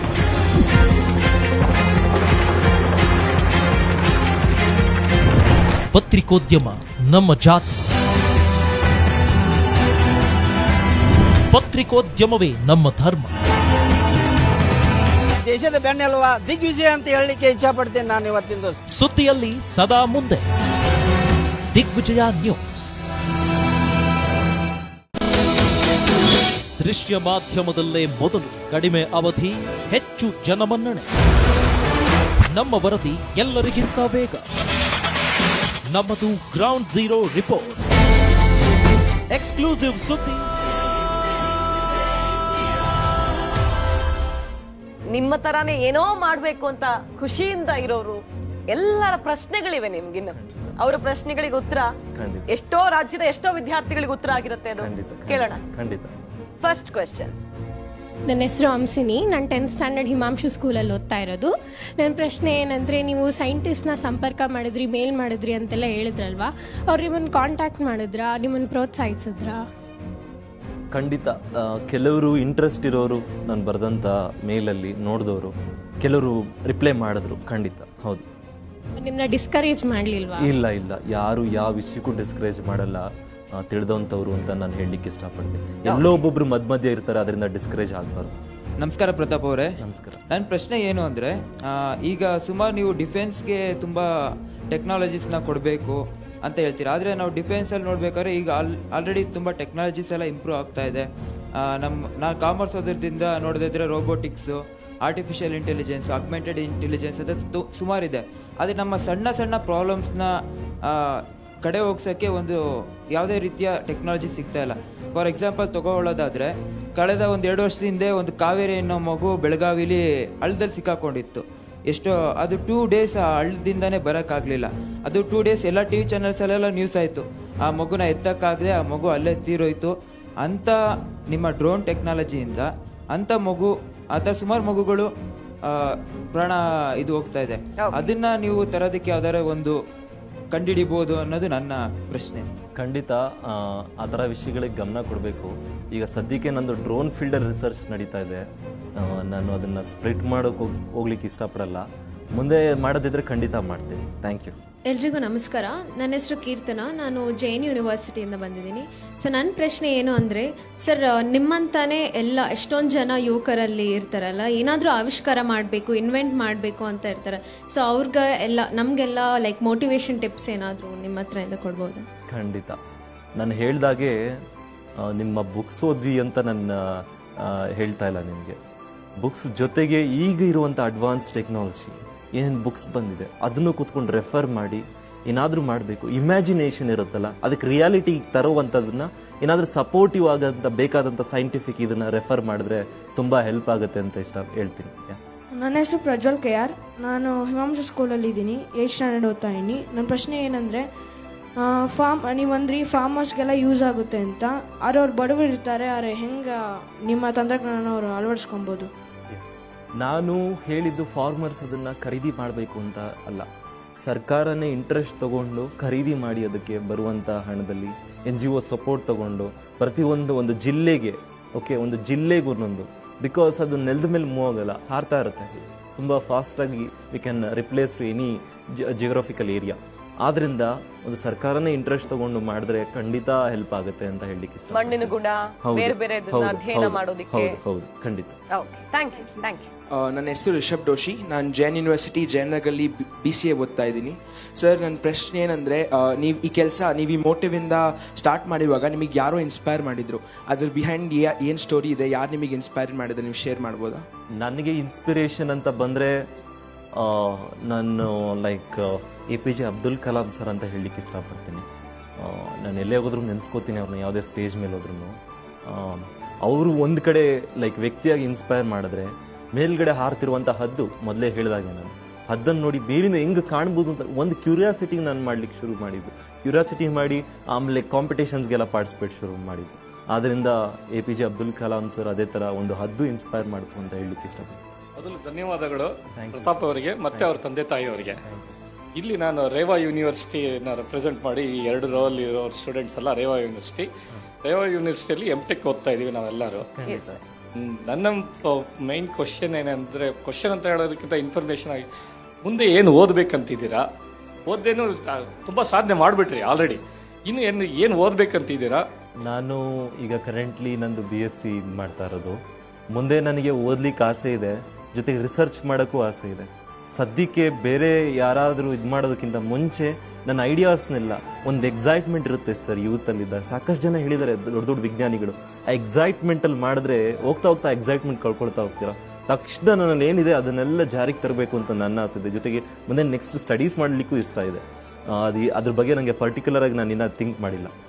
ನಾನು ಸಾಕು ಅಂತ ಬಿಡಬೇಕು ಅಂದ್ಕೊಂಡಿದ್ದ ಟೈಮು ನಾನು ಜಪಾನ್ಲಿದ್ದಾಗಲೇ ಸರಿಯಾಗಿ ಊಟ ಮಾಡಿರಲಿಲ್ಲ, ಆ ಲಗೇಜ್ ಎತ್ತಕ್ಕಾಗದಿದ್ದಾಗಲೇ ಬಿಟ್ಬೇಡ ಅಂತ ನಾನು ಅನ್ಸ್ ಅಂದ್ಕೊಂಡೆ ಎಲ್ಲ ಕೈ ಚೆಲ್ಲಿ ಕೂತ್ಕೊಬಿಟ್ಟಿದ್ದೆ ಆ ಟೈಮಲ್ಲಿ ಯಾಕೆಂದ್ರೆ ಎದ್ದೊಳಕ್ಕೂ ನಿಂತ್ಕೊಳ್ಳೋಕ್ಕೂ ಶಕ್ತಿ ಇರಲಿಲ್ಲ ಆ ಟೈಮಲ್ಲಿ ಹೌದು.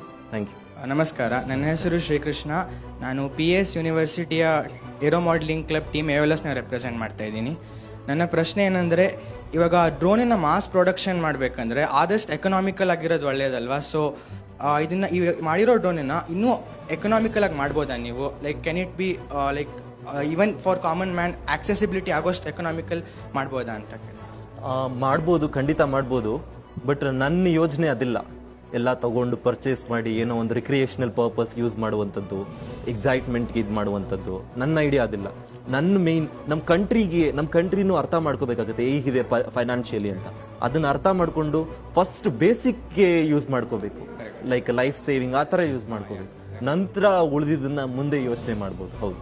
Yes sir thank you thank you ತುಂಬಾ ಖುಷಿ ಆಗ್ತಿದೆ ಇಂಥದ್ದೊಂದು ವೇದಿಕೆಯಲ್ಲಿ ಇಷ್ಟು ಒಳ್ಳೆ ಸ್ಫೂರ್ತಿಯ ಸಂದೇಶ ನಮಗೆ ಸಿಕ್ಕಿದೆ ಅಂತ. ತಂದೆ ತಾಯಿಗೆ ಆ ಎಲ್ಲಾ ಕ್ರೆಡಿಟ್ ಹೋಗಬೇಕು. ಸಂಪೂರ್ಣವಾದ ಕ್ರೆಡಿಟ್ ನಿಮಗಿಬ್ಬರಿಗೆ ಅಮ್ಮ ಏನ್ ಹೇಳ್ತೀರಾ ಪ್ರತಾಪ್ಗೆ? ನಮ್ಮ ಮಗ ಇಷ್ಟು ಸಾಧನೆ ಮಾಡೋಣಲ್ಲ ತುಂಬಾ ಸಂತೋಷ ಆಗಿದೆ. ಎಲ್ರಿಗೂ ಒಂದ್ಸಲ ಅದ್ ಹೇಗ್ ತಟ್ತೀರಾ ನೋಡೋಣ. ಅಲ್ವಾ?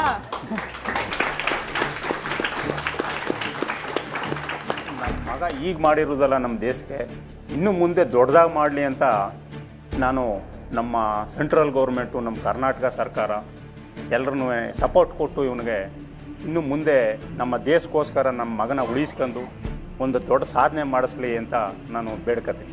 ಪ್ರತಿಯೊಬ್ಬ ಯೋಧನನ್ನ ಬಾರ್ಡರ್ಗೆ ಕಳಿಸೋ ತಂದೆ, ಹಾಗೆ ಇಂತಹ ಒಬ್ಬ ವಿಜ್ಞಾನಿಯನ್ನ ದೇಶಕ್ಕೆ ಕೊಡೋ ತಂದೆ ಆಡಬೇಕಾದ ಮಾತಿದು ಸೂಪರ್ ಸರ್, ಸೂಪರ್. ಇದಕ್ಕೆ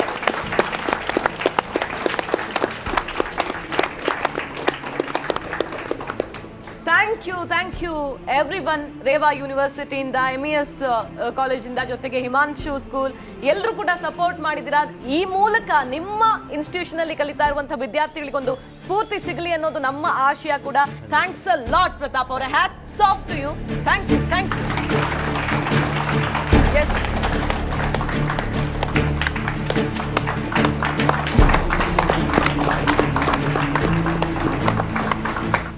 ವೀಕ್ಷಕರೇ, ಬೆಳೆಯೋ ಸಿರಿ ಮೊಳಕೆಯಲ್ಲಿ ಅಂತ ಹೇಳ್ತಾರಲ್ವಾ? ಆ ಮೊಳಕೆಯನ್ನ ಚಿವುಟ ಹಾಕದೆ, ಯಾರು ಹೇಳಿ? ಅಪ್ಪ, ಅಮ್ಮ ಚಿವುಟ ಹಾಕದೆ, ಹೆಮ್ಮರವಾಗಿ ಬೆಳೆಸೋದು, ಗಟ್ಟಿ ಬೇರುಗಳನ್ನ ಊರಿಸೋ ಜವಾಬ್ದಾರಿ ನಿಮ್ಮ ಮೇಲಿರುತ್ತೆ.